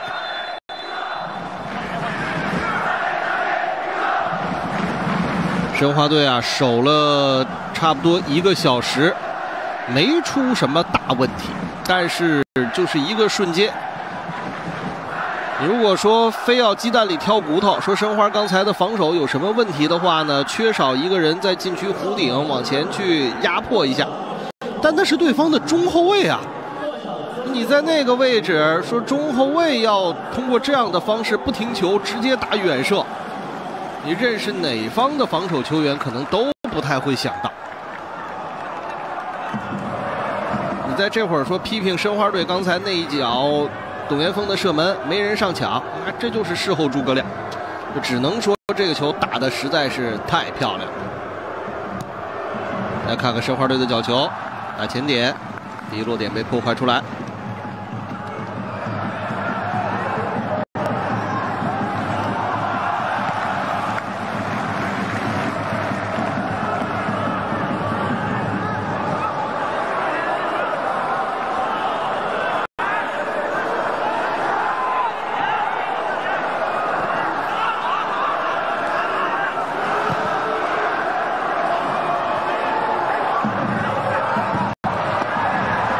分一旦被改变，僵局一旦被打破，现在就可以看到上海申花队是可以把自己的进攻线推上来，也必须把自己的进攻线推上来的。申花队刚才也进行了换人调整，刘若凡披挂上阵了。刘若凡上来在进攻线上增加人手，现在把索哥的位置也前提。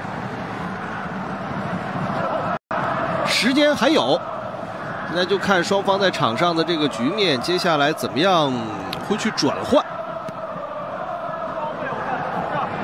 朱宝杰被换下，彭新立上。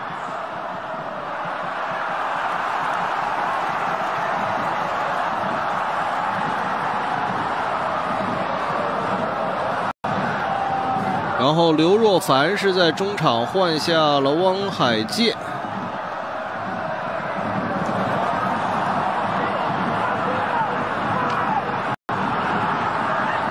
在这个赛季的中超联赛当中呢，彭新立之前打了十二场比赛，五百六十三分钟的出场时间，有一个进球。刘若凡十二场比赛，六百二十九分钟，虽然没有进球，但是他在进攻一端能够给申花队带来的改变也还是不少的。劳列斯这个 直接手丑一挡，放倒了刘若凡，自己也吃到了一张黄牌。现在对于大连人队来说呢，全线退守还不是时候，尤其是黄家辉、刘若呃黄家辉，然后呢劳列斯，这都身背黄牌的情况下，六十五分钟就开手，这个有点危险。特索涅夫被换下，二十三号伤隐上。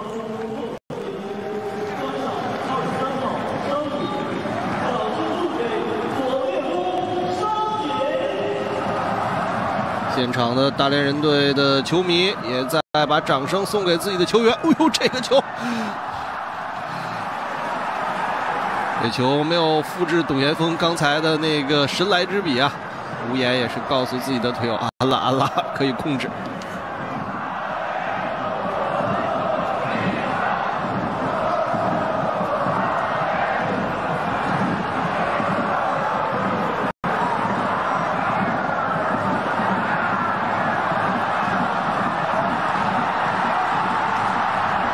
冲传球给到禁区里，张璐一个回头望月的头球解围。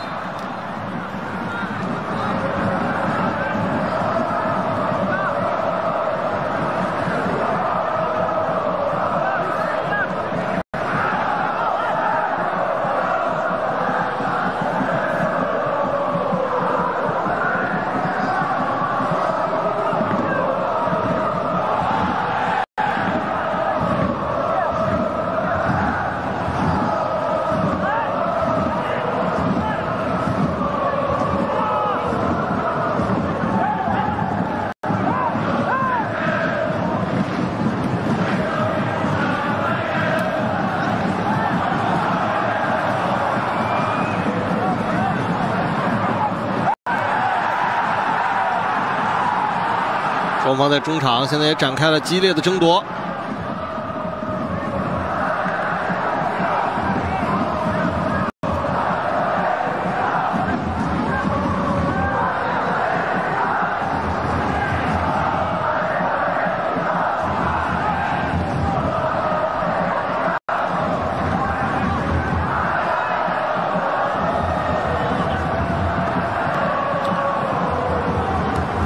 阿索哥边翼的这个位置拿球，还是没有支点。现在巴索戈和杨旭两个人之间的距离呢，这个打的有点远了。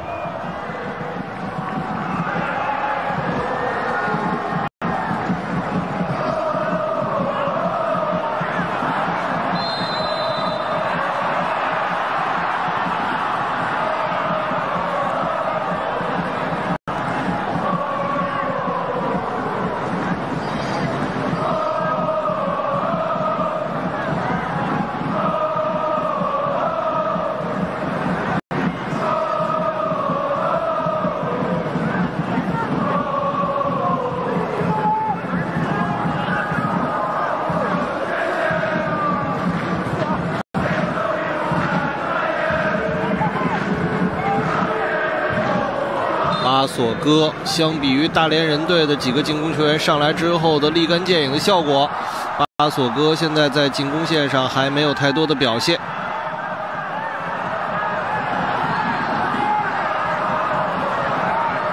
大连人队那边呢，有球员倒在了本方的禁区内，是劳列斯吧？哦，这边已经是出现了这个流血的情况。在招呼队医进场来看一下劳列斯这一下啊，还是被无眼的手肘撞到。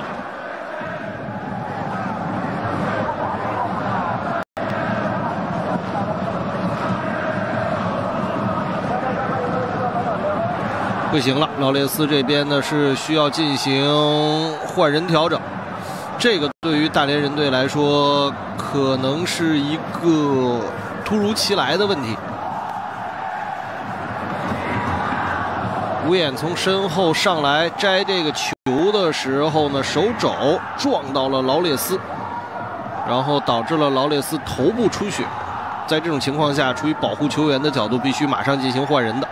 这还是刚才董岩峰的那个进球，这真是天外飞仙呐！不管明天的比赛，或者是今天其他场次的比赛，是不是还有精彩的进球？也不管十八轮之前已经完事儿的比赛，是不是还有精彩的进球？董岩峰的这个球，在我看来就是中超联赛第十八轮的最佳进球，可遇不可求啊！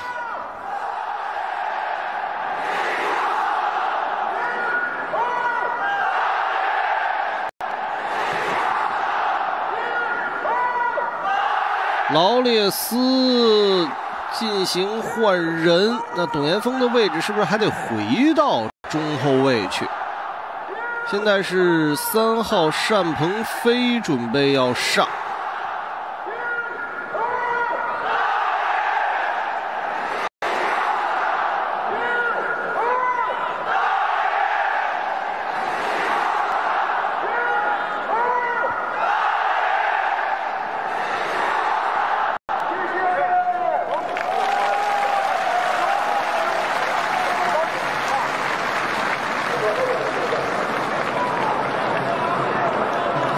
劳列斯呢，头部有出血的情况，这个要在场内先做一个及时的处理，完成止血之后，然后呢再完成换人，被抬到场边。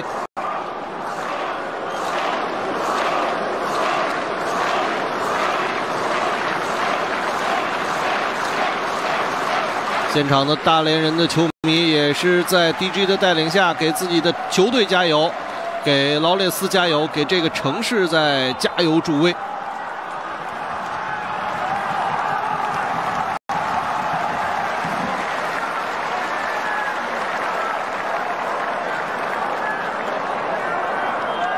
在中国职业足球的早期，连户争霸是什么样的一个意思？其实对于每一个球迷来说都记忆犹新。后来随着时间的推移，可能。不管是申花也好，还是大连的球队几经变迁也罢，让连户争霸少了一些熟悉的味道。啊，今天的这场比赛虽然到现在为止进球不多，但两支球队还确实都是按照自己的风格打法，在为大家奉献一场节奏很快的，而且也很具备观赏性的比赛。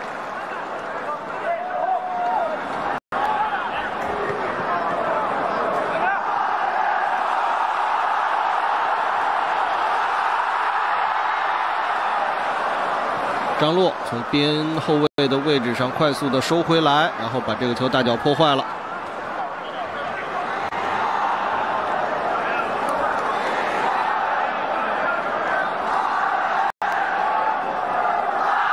比赛呢，现在打过了七十分钟，场上的比分，大连人一比零暂时领先。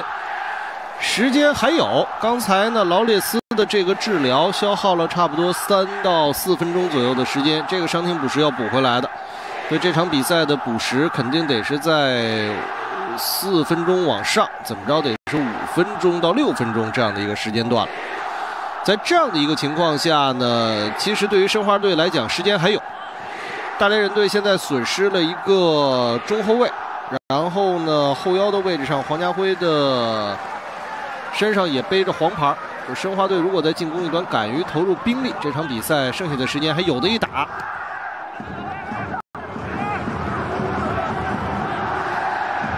那果然，单鹏飞上来之后呢，是打在了右后卫的位置。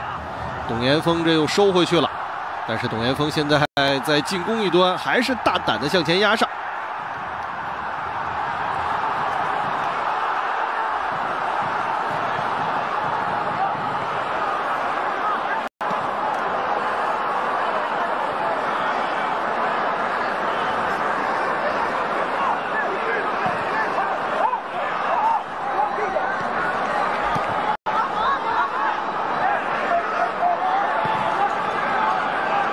杨洋侧向的转移过来，蒋胜龙。申花队现在呢，把自己的两个边路张路还有百家俊这全都给推上去。但是曹云定不在的情况下呢，边路还是感觉缺少爆点。上半时比赛，申花队张路和朱宝杰两个人联手在右路制造了一些威胁，但之后全线退守，这个威胁就弹不起来了。长传球想要去找刘若凡，效果一般。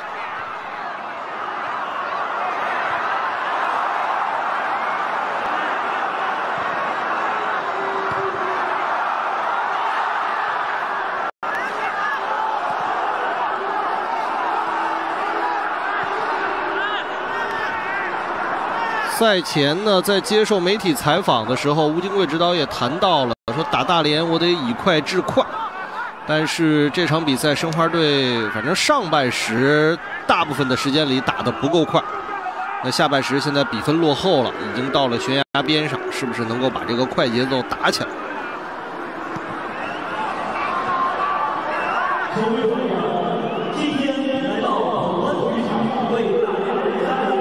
好，巴索戈。呃，这个球还是没有能够停住。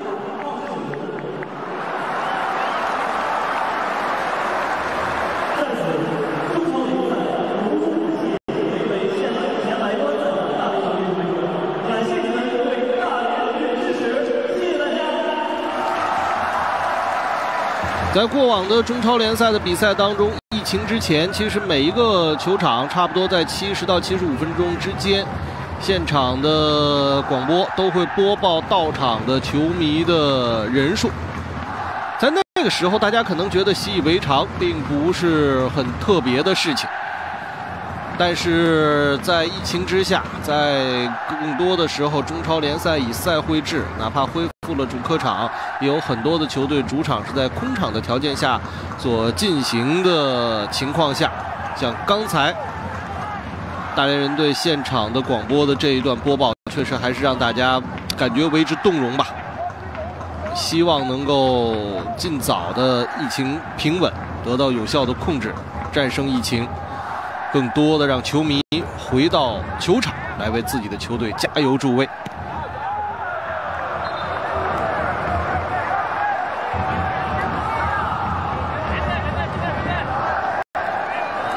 刘若凡现在上来之后呢，就是申花队的整个中前场进攻还没有办法去构建成一个整体。你像大连人队下半时比赛呢，就围绕着曼佐基在进攻线上的这一个支点，也第二梯队的进攻球员能够形成一系列的有效的串联。董岩峰的那个球呢，看似天外飞仙，也有一定的运气成分吧。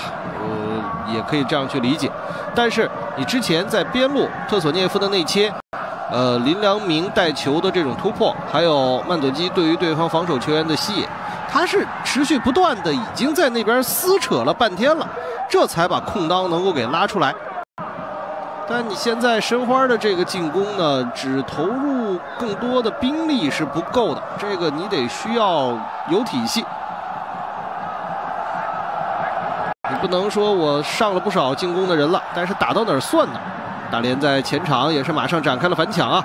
哇，这个六名球员去抢对方三名中后场的持球球员，这算是以攻代守了。吹了林良铭的反抢犯规。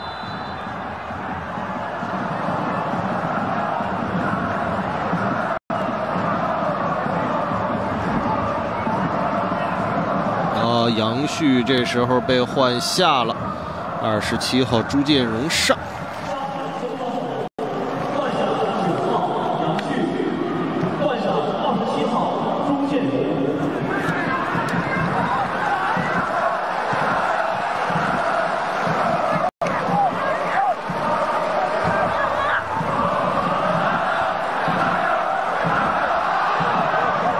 横向内切。无锡，无锡这球往中路走，远端那一侧边后卫其实已经等了半天了，那一侧是有空当的。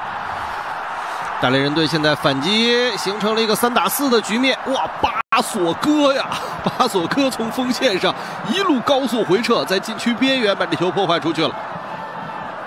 刚才那个位置真少巴索戈这么一个点，大连人队的进攻可能就打进去了。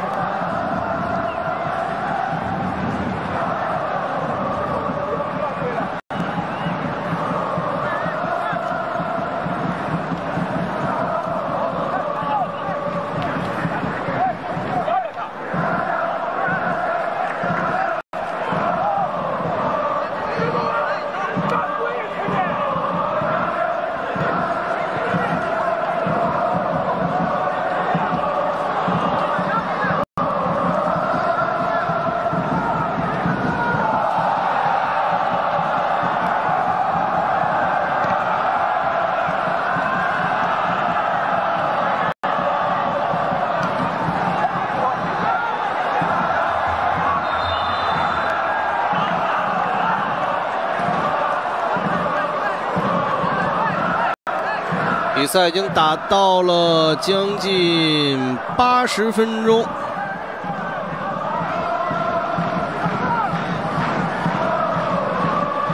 申花这场比赛打完了之后呢，接下来十月四号要对阵河南嵩山龙门。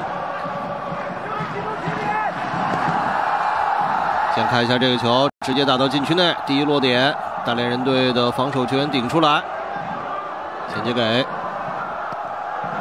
百家俊，传中球给进去，甩头攻门。这球虽然是顶正了部位，但是角度顶的偏了一些。就今天这一场比赛，百家俊的这一侧能够通过这样的方式来完成传中球，都看到的并不多。在我印象当中，这第二次吧。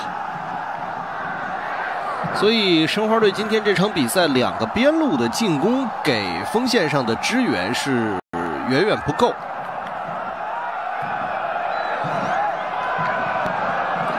申花下一场比赛呢，要对阵的是河南嵩山龙门。河南嵩山龙门队最近一段时间的状态也是不好，二比一赢了广州之后呢，三场没赢。其实赢广州之前的三场比赛也是两负一平，就是最近的七场比赛，河南就只赢了一场。球队当向一个更高的目标去发起冲击的时候，也可能是出现了一些变化和反复吧。下一场比赛就很关键了。河南嵩山龙门从三甲现在已经是退出了前四了。申花要是这场比赛不能拿分的话呢，两队有差不多不到一个胜场的分差，竞争也会很激烈。侧向的转移过来，吕鹏在这个位置可以起脚打门了。吕鹏又是杀到了禁区弧顶的这个区域，在这场比赛之前我们就反复提及。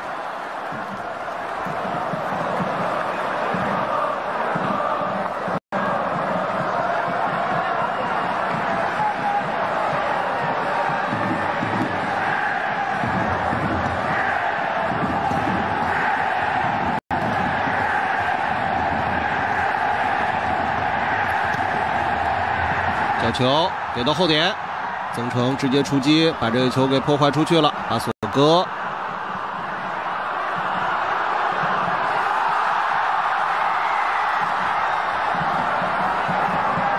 吕鹏，脚后跟的传球。大连人队这会儿在进攻线上也是完全打开了啊！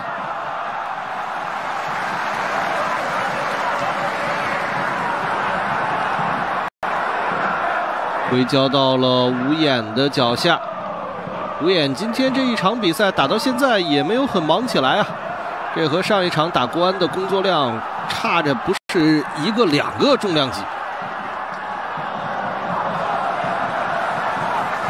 曼德基。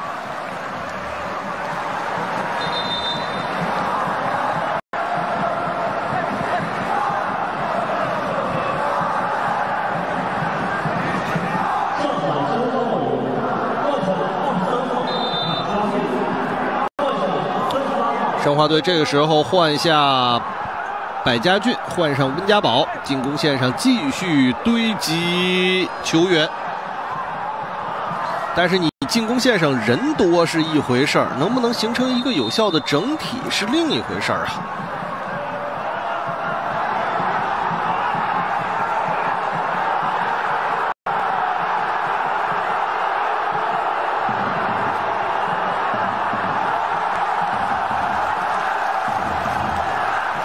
赛打到这会儿，双方的情绪也都到了一个临界点。这种情绪不仅仅是场上球员的情绪，秦升这边也是和裁判发生了一些争执，吃到了一张黄牌。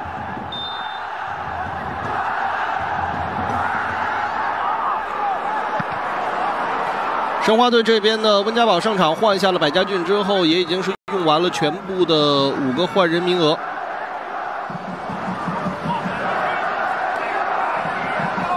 在两边五个换人名额都已经用完了，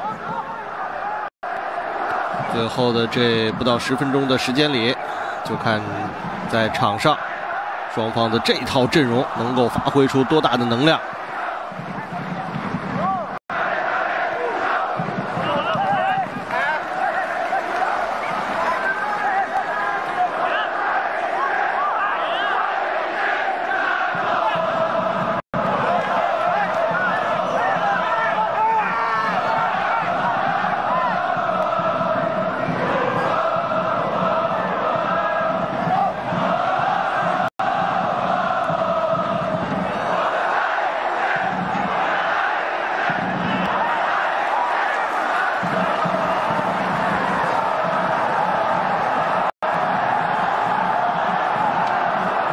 两支球队之前我们也提到了，比较过往的交手记录的话，申花是占据着一个很大的优势的。但如果大连人队在今天的这场比赛当中能够取胜对手的话，那又将是在这个赛季去刷新一个之前很难战胜的对手，去取胜他的记录。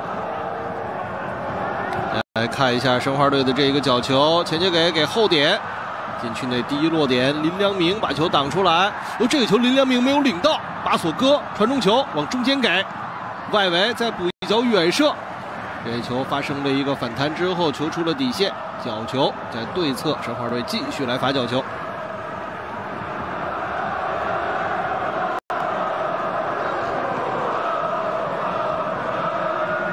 双方的角球次数之比四比四，巴索戈这球直接打到门前，无言把球稳稳的拿到。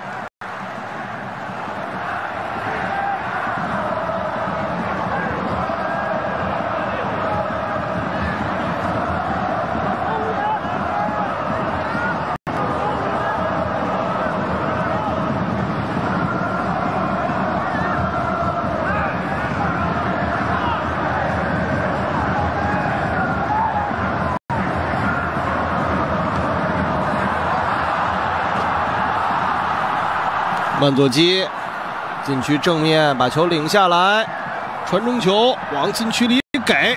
这时候呢，大连人队在禁区内投入的兵力就稍显有点不足了。商野虽然是抢到了这个落点，但是呢，没有再有更多的接应球员在这个位置去形成更有威胁的进攻。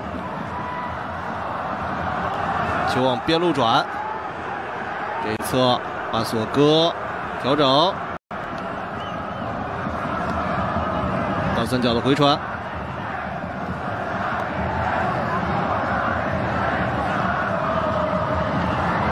哦，这球危险，球进了。比赛进行到第八十八分钟，上海申花队持续不断的这种进攻，也是收获了一个扳平比分的进球。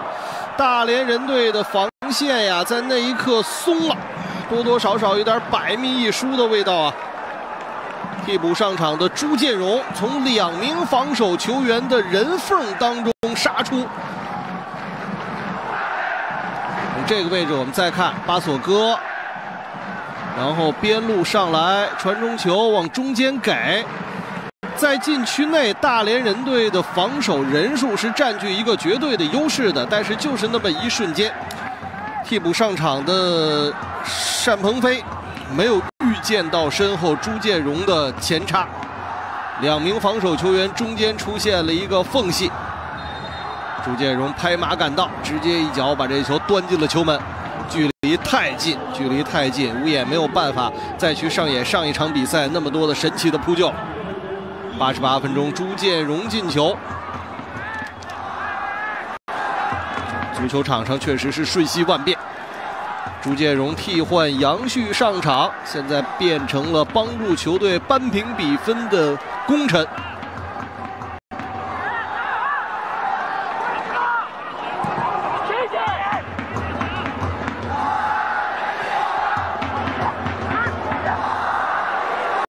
刘若凡高速向前，单鹏飞手上有一个拉拽的动作，但是还是没有能够限制住对方。刘若凡这个球倒三角往无锡脚下去传的时候，被对方的防守球员抢先一脚把球破坏出去了。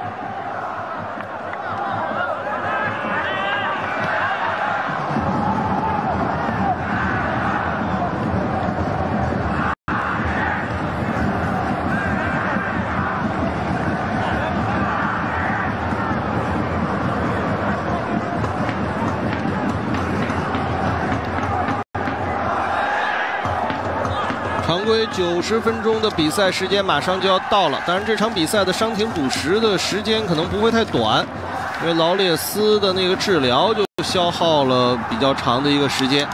巴索戈传中球再给到中间，吴岩这球出击没拿到球，球被顶进了球门。就在伤停补时的五分钟的牌子刚刚被举起来的时候，大连人队的后防线上又丢球了。破门得分的是朱建荣，替补登场，独中两元，一举逆转比分。啊，这是什么样的剧情啊？就在杨旭下场，朱建荣披挂上阵的时候呢，球迷朋友还在直播间里说，杨旭这场比赛确实进攻线上支点的作用没有发挥出来，也没有更多的射门。那这时候他下场，朱建荣上来能做什么？现在看能做的太多了，甚至能改变这场比赛最终的胜负。大连人队的防线呀，这一场比赛可能承受的压力也不算太大。但是到了最后的这个阶段，当申花队开始向大连人队的这条防线去施加压力的时候，一压就崩溃了吗？董岩峰和单鹏飞两个人结合部的那个位置也是出现了又一次的盯人不解，同样的一个河掉进去了两次，同样的一块石头绊倒了他两回。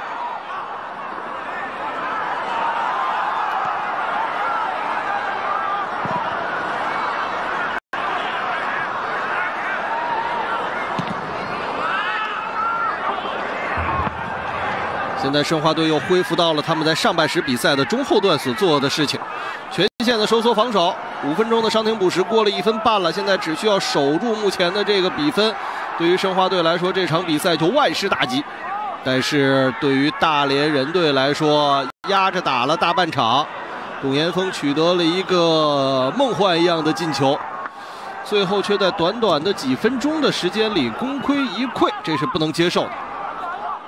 时间还有最后三分钟的时间，看看大连人队在进攻线上还能做一些什么样的回应。上一场打国安的比赛是丢球之后秒扳平比分，这场比赛还会有这样的剧情吗？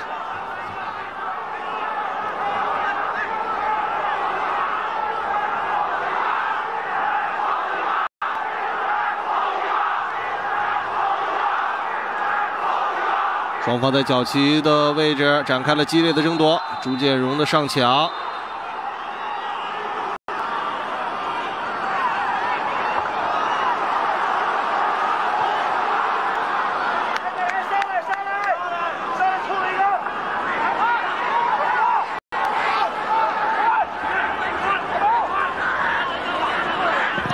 曼佐基上一场比赛他是帮助球队扳平比分的英雄。但是这场比赛他只能更多的去充当桥头堡，来给自己的球员过渡，是不是还有机会呢？这个球打得又高又飘，送到门前，曾诚第一下的出击也是看着很悬呀，这球并没有能够打远，但是好在身边还有防守的后卫帮忙补了一脚。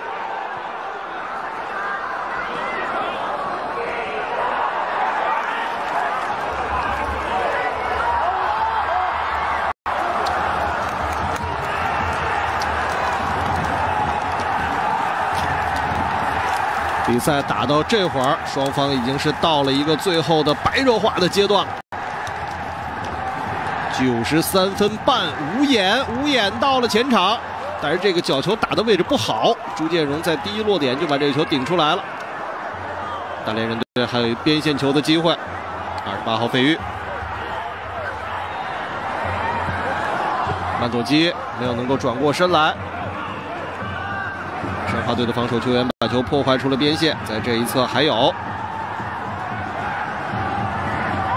单鹏飞边线球掷进来，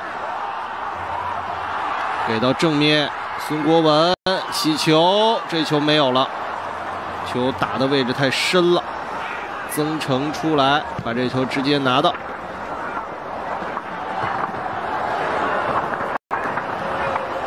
双方的射门次数之比八比六。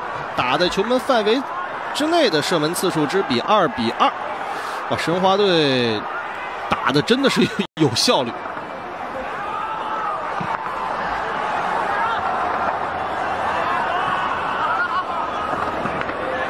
这场比赛，申花队如果以这样神奇的方式逆转取得胜利的话，六轮比赛四胜两平，保持不败。球队将会超越同城的对手海港，然后再回到积分榜三甲的行列当中。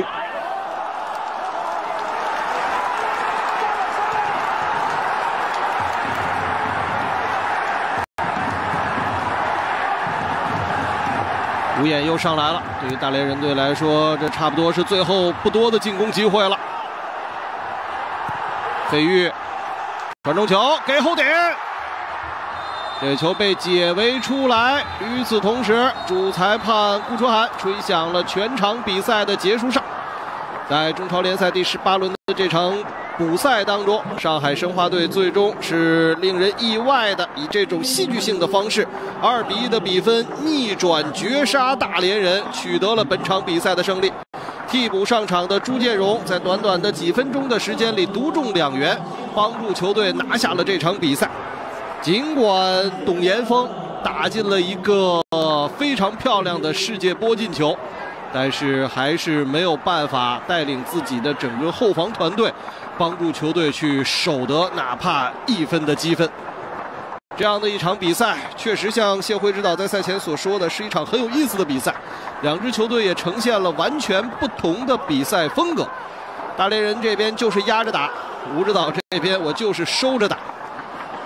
有精彩的进球，也有不可思议的比赛的剧情。这样的一场比赛。质量很高，攻防转换的节奏很快。对于看球的球迷来说，可能胜负会有不一样，大家的心情会有高潮，会有低谷。但是这确实是一场令大家感觉赏心悦目的高质量的中超联赛的比赛。我们渴望中超联赛能有更多的这样的比赛。那这场比赛现场部分的直播，我们到这里就告一段落。感谢观众朋友们的收看，也欢迎大家继续锁定腾讯体育为您带来的中超联赛的直播。我们下一场再会。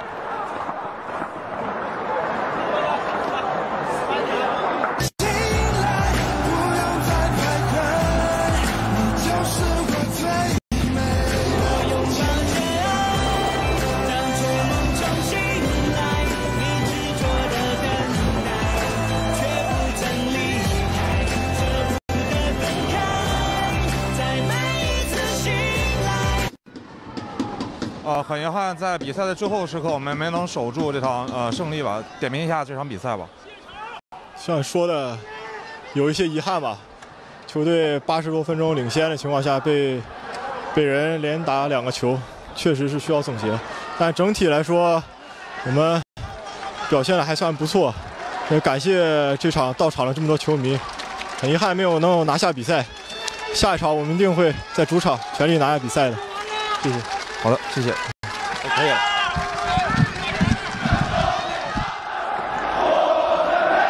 呃，朱彦荣你好，可能这场比赛最后时刻的一个逆转出乎很多人的意料，你怎么样看我们最后时刻这样的一个逆转？呃，我们还是就是坚持主教练对我们赛前的灌输吧，呃，也提到过，呃，落后的情况下该怎么办。呃，领先的情况该怎么办？僵局的情况该怎么办？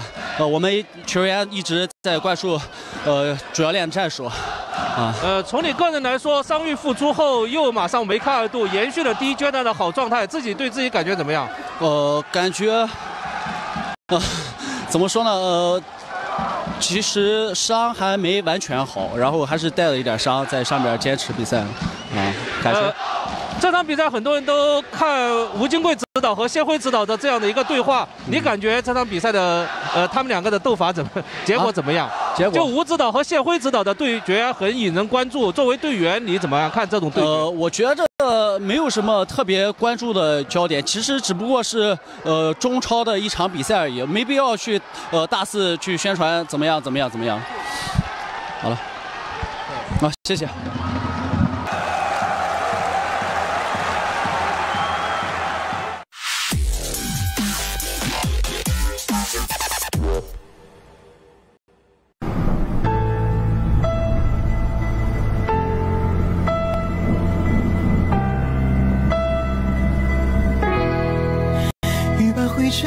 去，费尽所有力气，脚下还是遍地荆棘，执着仍在喘息，别被自己抛弃，就让唏嘘随风飘去。那做过的梦，受过的伤，像一步一个脚印。证明我们已经走过。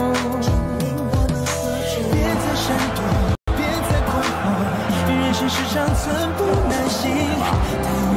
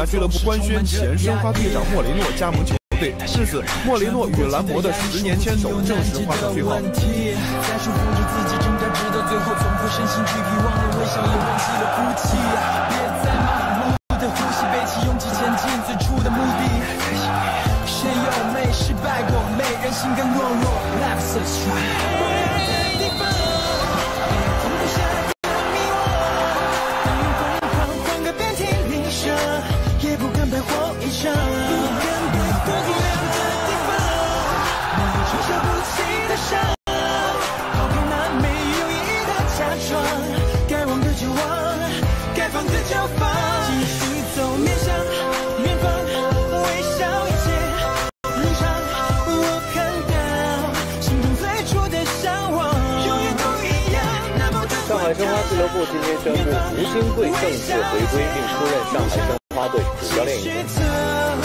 像着曾经我以为。我们可以输球，但是我们不会输掉我们的信心，不会输掉我们的斗志。好，我们一定会努力。谢谢你们，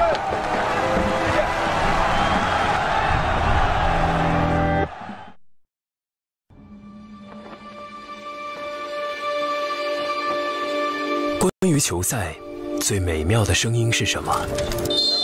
是开场的一声长哨，是皮球钻入网窝的声响，还是进球瞬间的嘶吼？或许这些都是，但他们都离不开那最重要的背景声，来自看台的山呼海啸。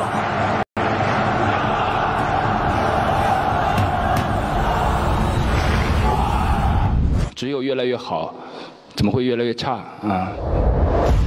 九百七十八天的等待终于结束，熟悉的一切都将归来。带着热爱与信仰，他们将重返那座心中圣地，将呐喊还给天空，让激情重新点燃。聆听震耳欲聋的欢呼，他们将再次登上战场。一比零开场，戴维斯世界波进球，迈向崭新纪元，心中狂热不灭。看中超，来腾讯，一起为城市而战。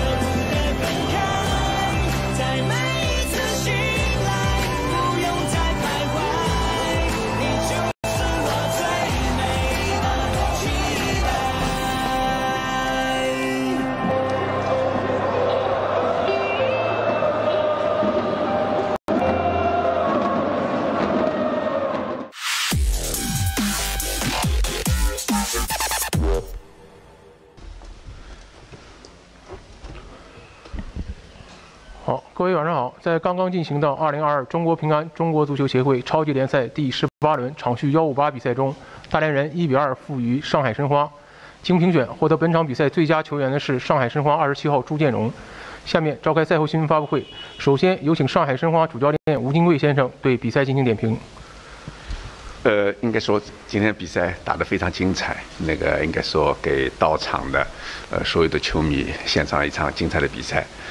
呃，我们很少呃，就是很长时间没有感受到就是这样一种呃球迷氛围了，所以这样一种氛围给双方球员呃带来一种呃场上的一种拼搏精神啊，还有一种勇于进取的精神，所以今天呃都展现出来了。那么确实是。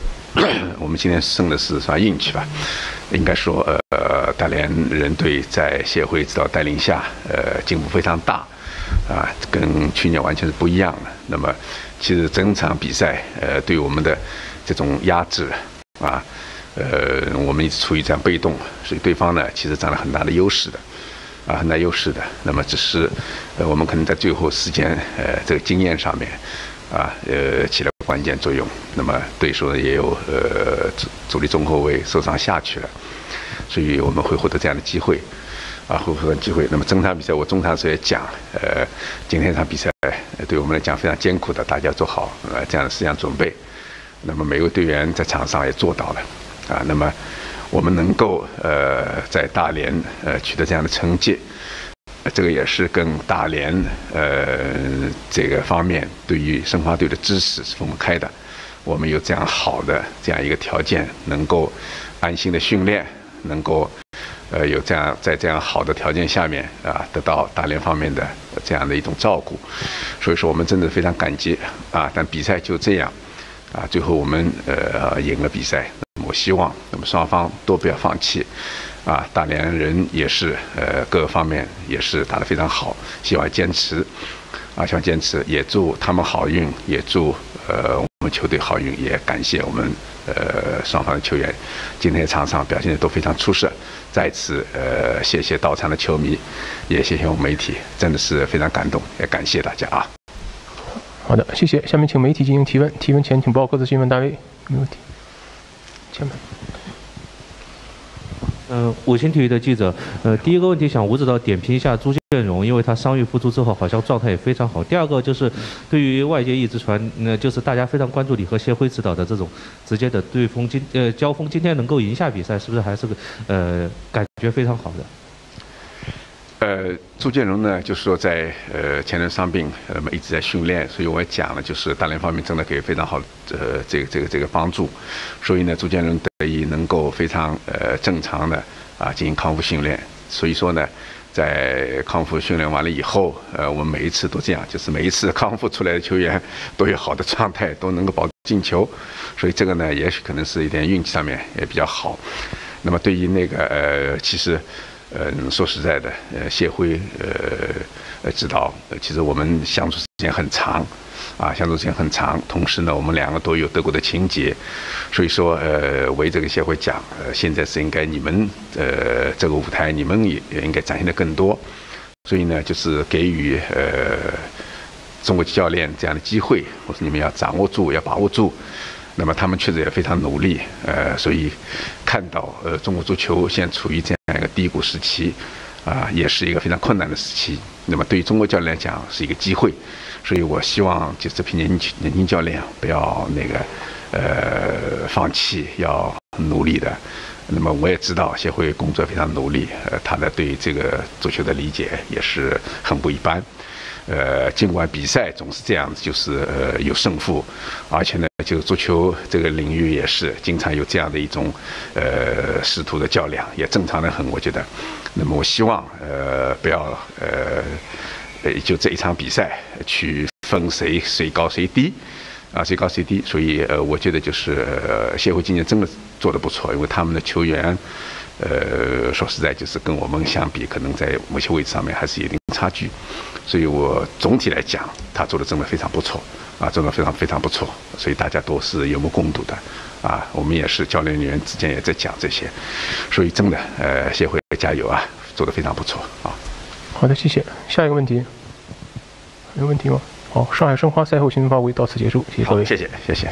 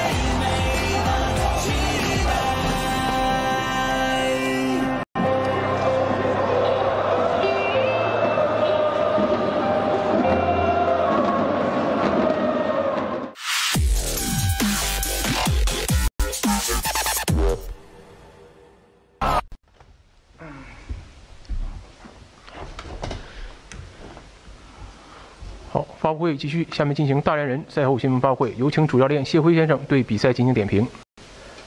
呃，总的来说，呃，进了球以后又不知道怎么踢，这不是第一场了，也不是第三、第四场啊、我数了一下，十八轮五六场球啊，属于这样。这是明显看得出来，有很多球员啊、他在这个级别啊、应该是太高了啊、都是一些非常低级的失误啊。呃，很多这样的失误你就没有办法总结了啊。呃，很多就是说说了，场上非常多的球员付出的努力啊，被一些低级失误啊全部给抹杀掉啊，这就是这场比赛的一个总的呃，对对手在一比零以前可能没有几次射门啊，嗯、希望回去能够再总结，我们在后防线上确实啊到了低位，啊问题多得不得了，还需要再通过啊训练来改进。谢谢。好的，谢谢。下面有请媒体进行提问，提问前请报各自新闻单位。嗯，谢总你好，五星体育的记者，因为我看到中场里就直接进行了三个人的调换，是不是呃非常渴望拿下这场比赛？然后昨天你也说对结果其实挺期待、挺憧憬，但最后这样输球还是非常的遗憾，对吧？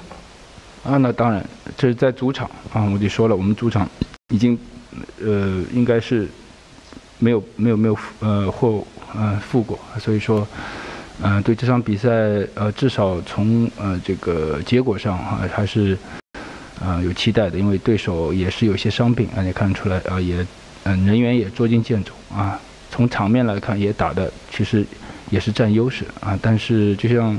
我说的，呃，申花这申花队现在他的效率啊，各方面啊，因为他的心态啊，都比我们要好很多啊。我们好像，呃，好像还在保级泥潭里。我在问，是不是我们现在深陷这个泥潭？还有，好像每个人像输了一场这个不能输的比赛一样啊。这是已经是好几次发现这种情况啊，觉得有些诧异。嗯，嗯。好的，还有问题吗？请。啊，你好，大连体育广播记者。呃，想问一下，就是我们在上半场比赛好像是没有打出我们之前所期待的那样的节奏来，但是到了下半场好像进行人员调整之后，呃，这个尤其是曼佐基上场之后，这种前场支点的作用非常明显。呃，谢指导会不会考虑以后会给曼佐基更多的上场的时间？呃，而且好像在对董连峰的这个位置位置的这个调整上也是效果不错，是不是在日常的训练当中也有过这样的尝试？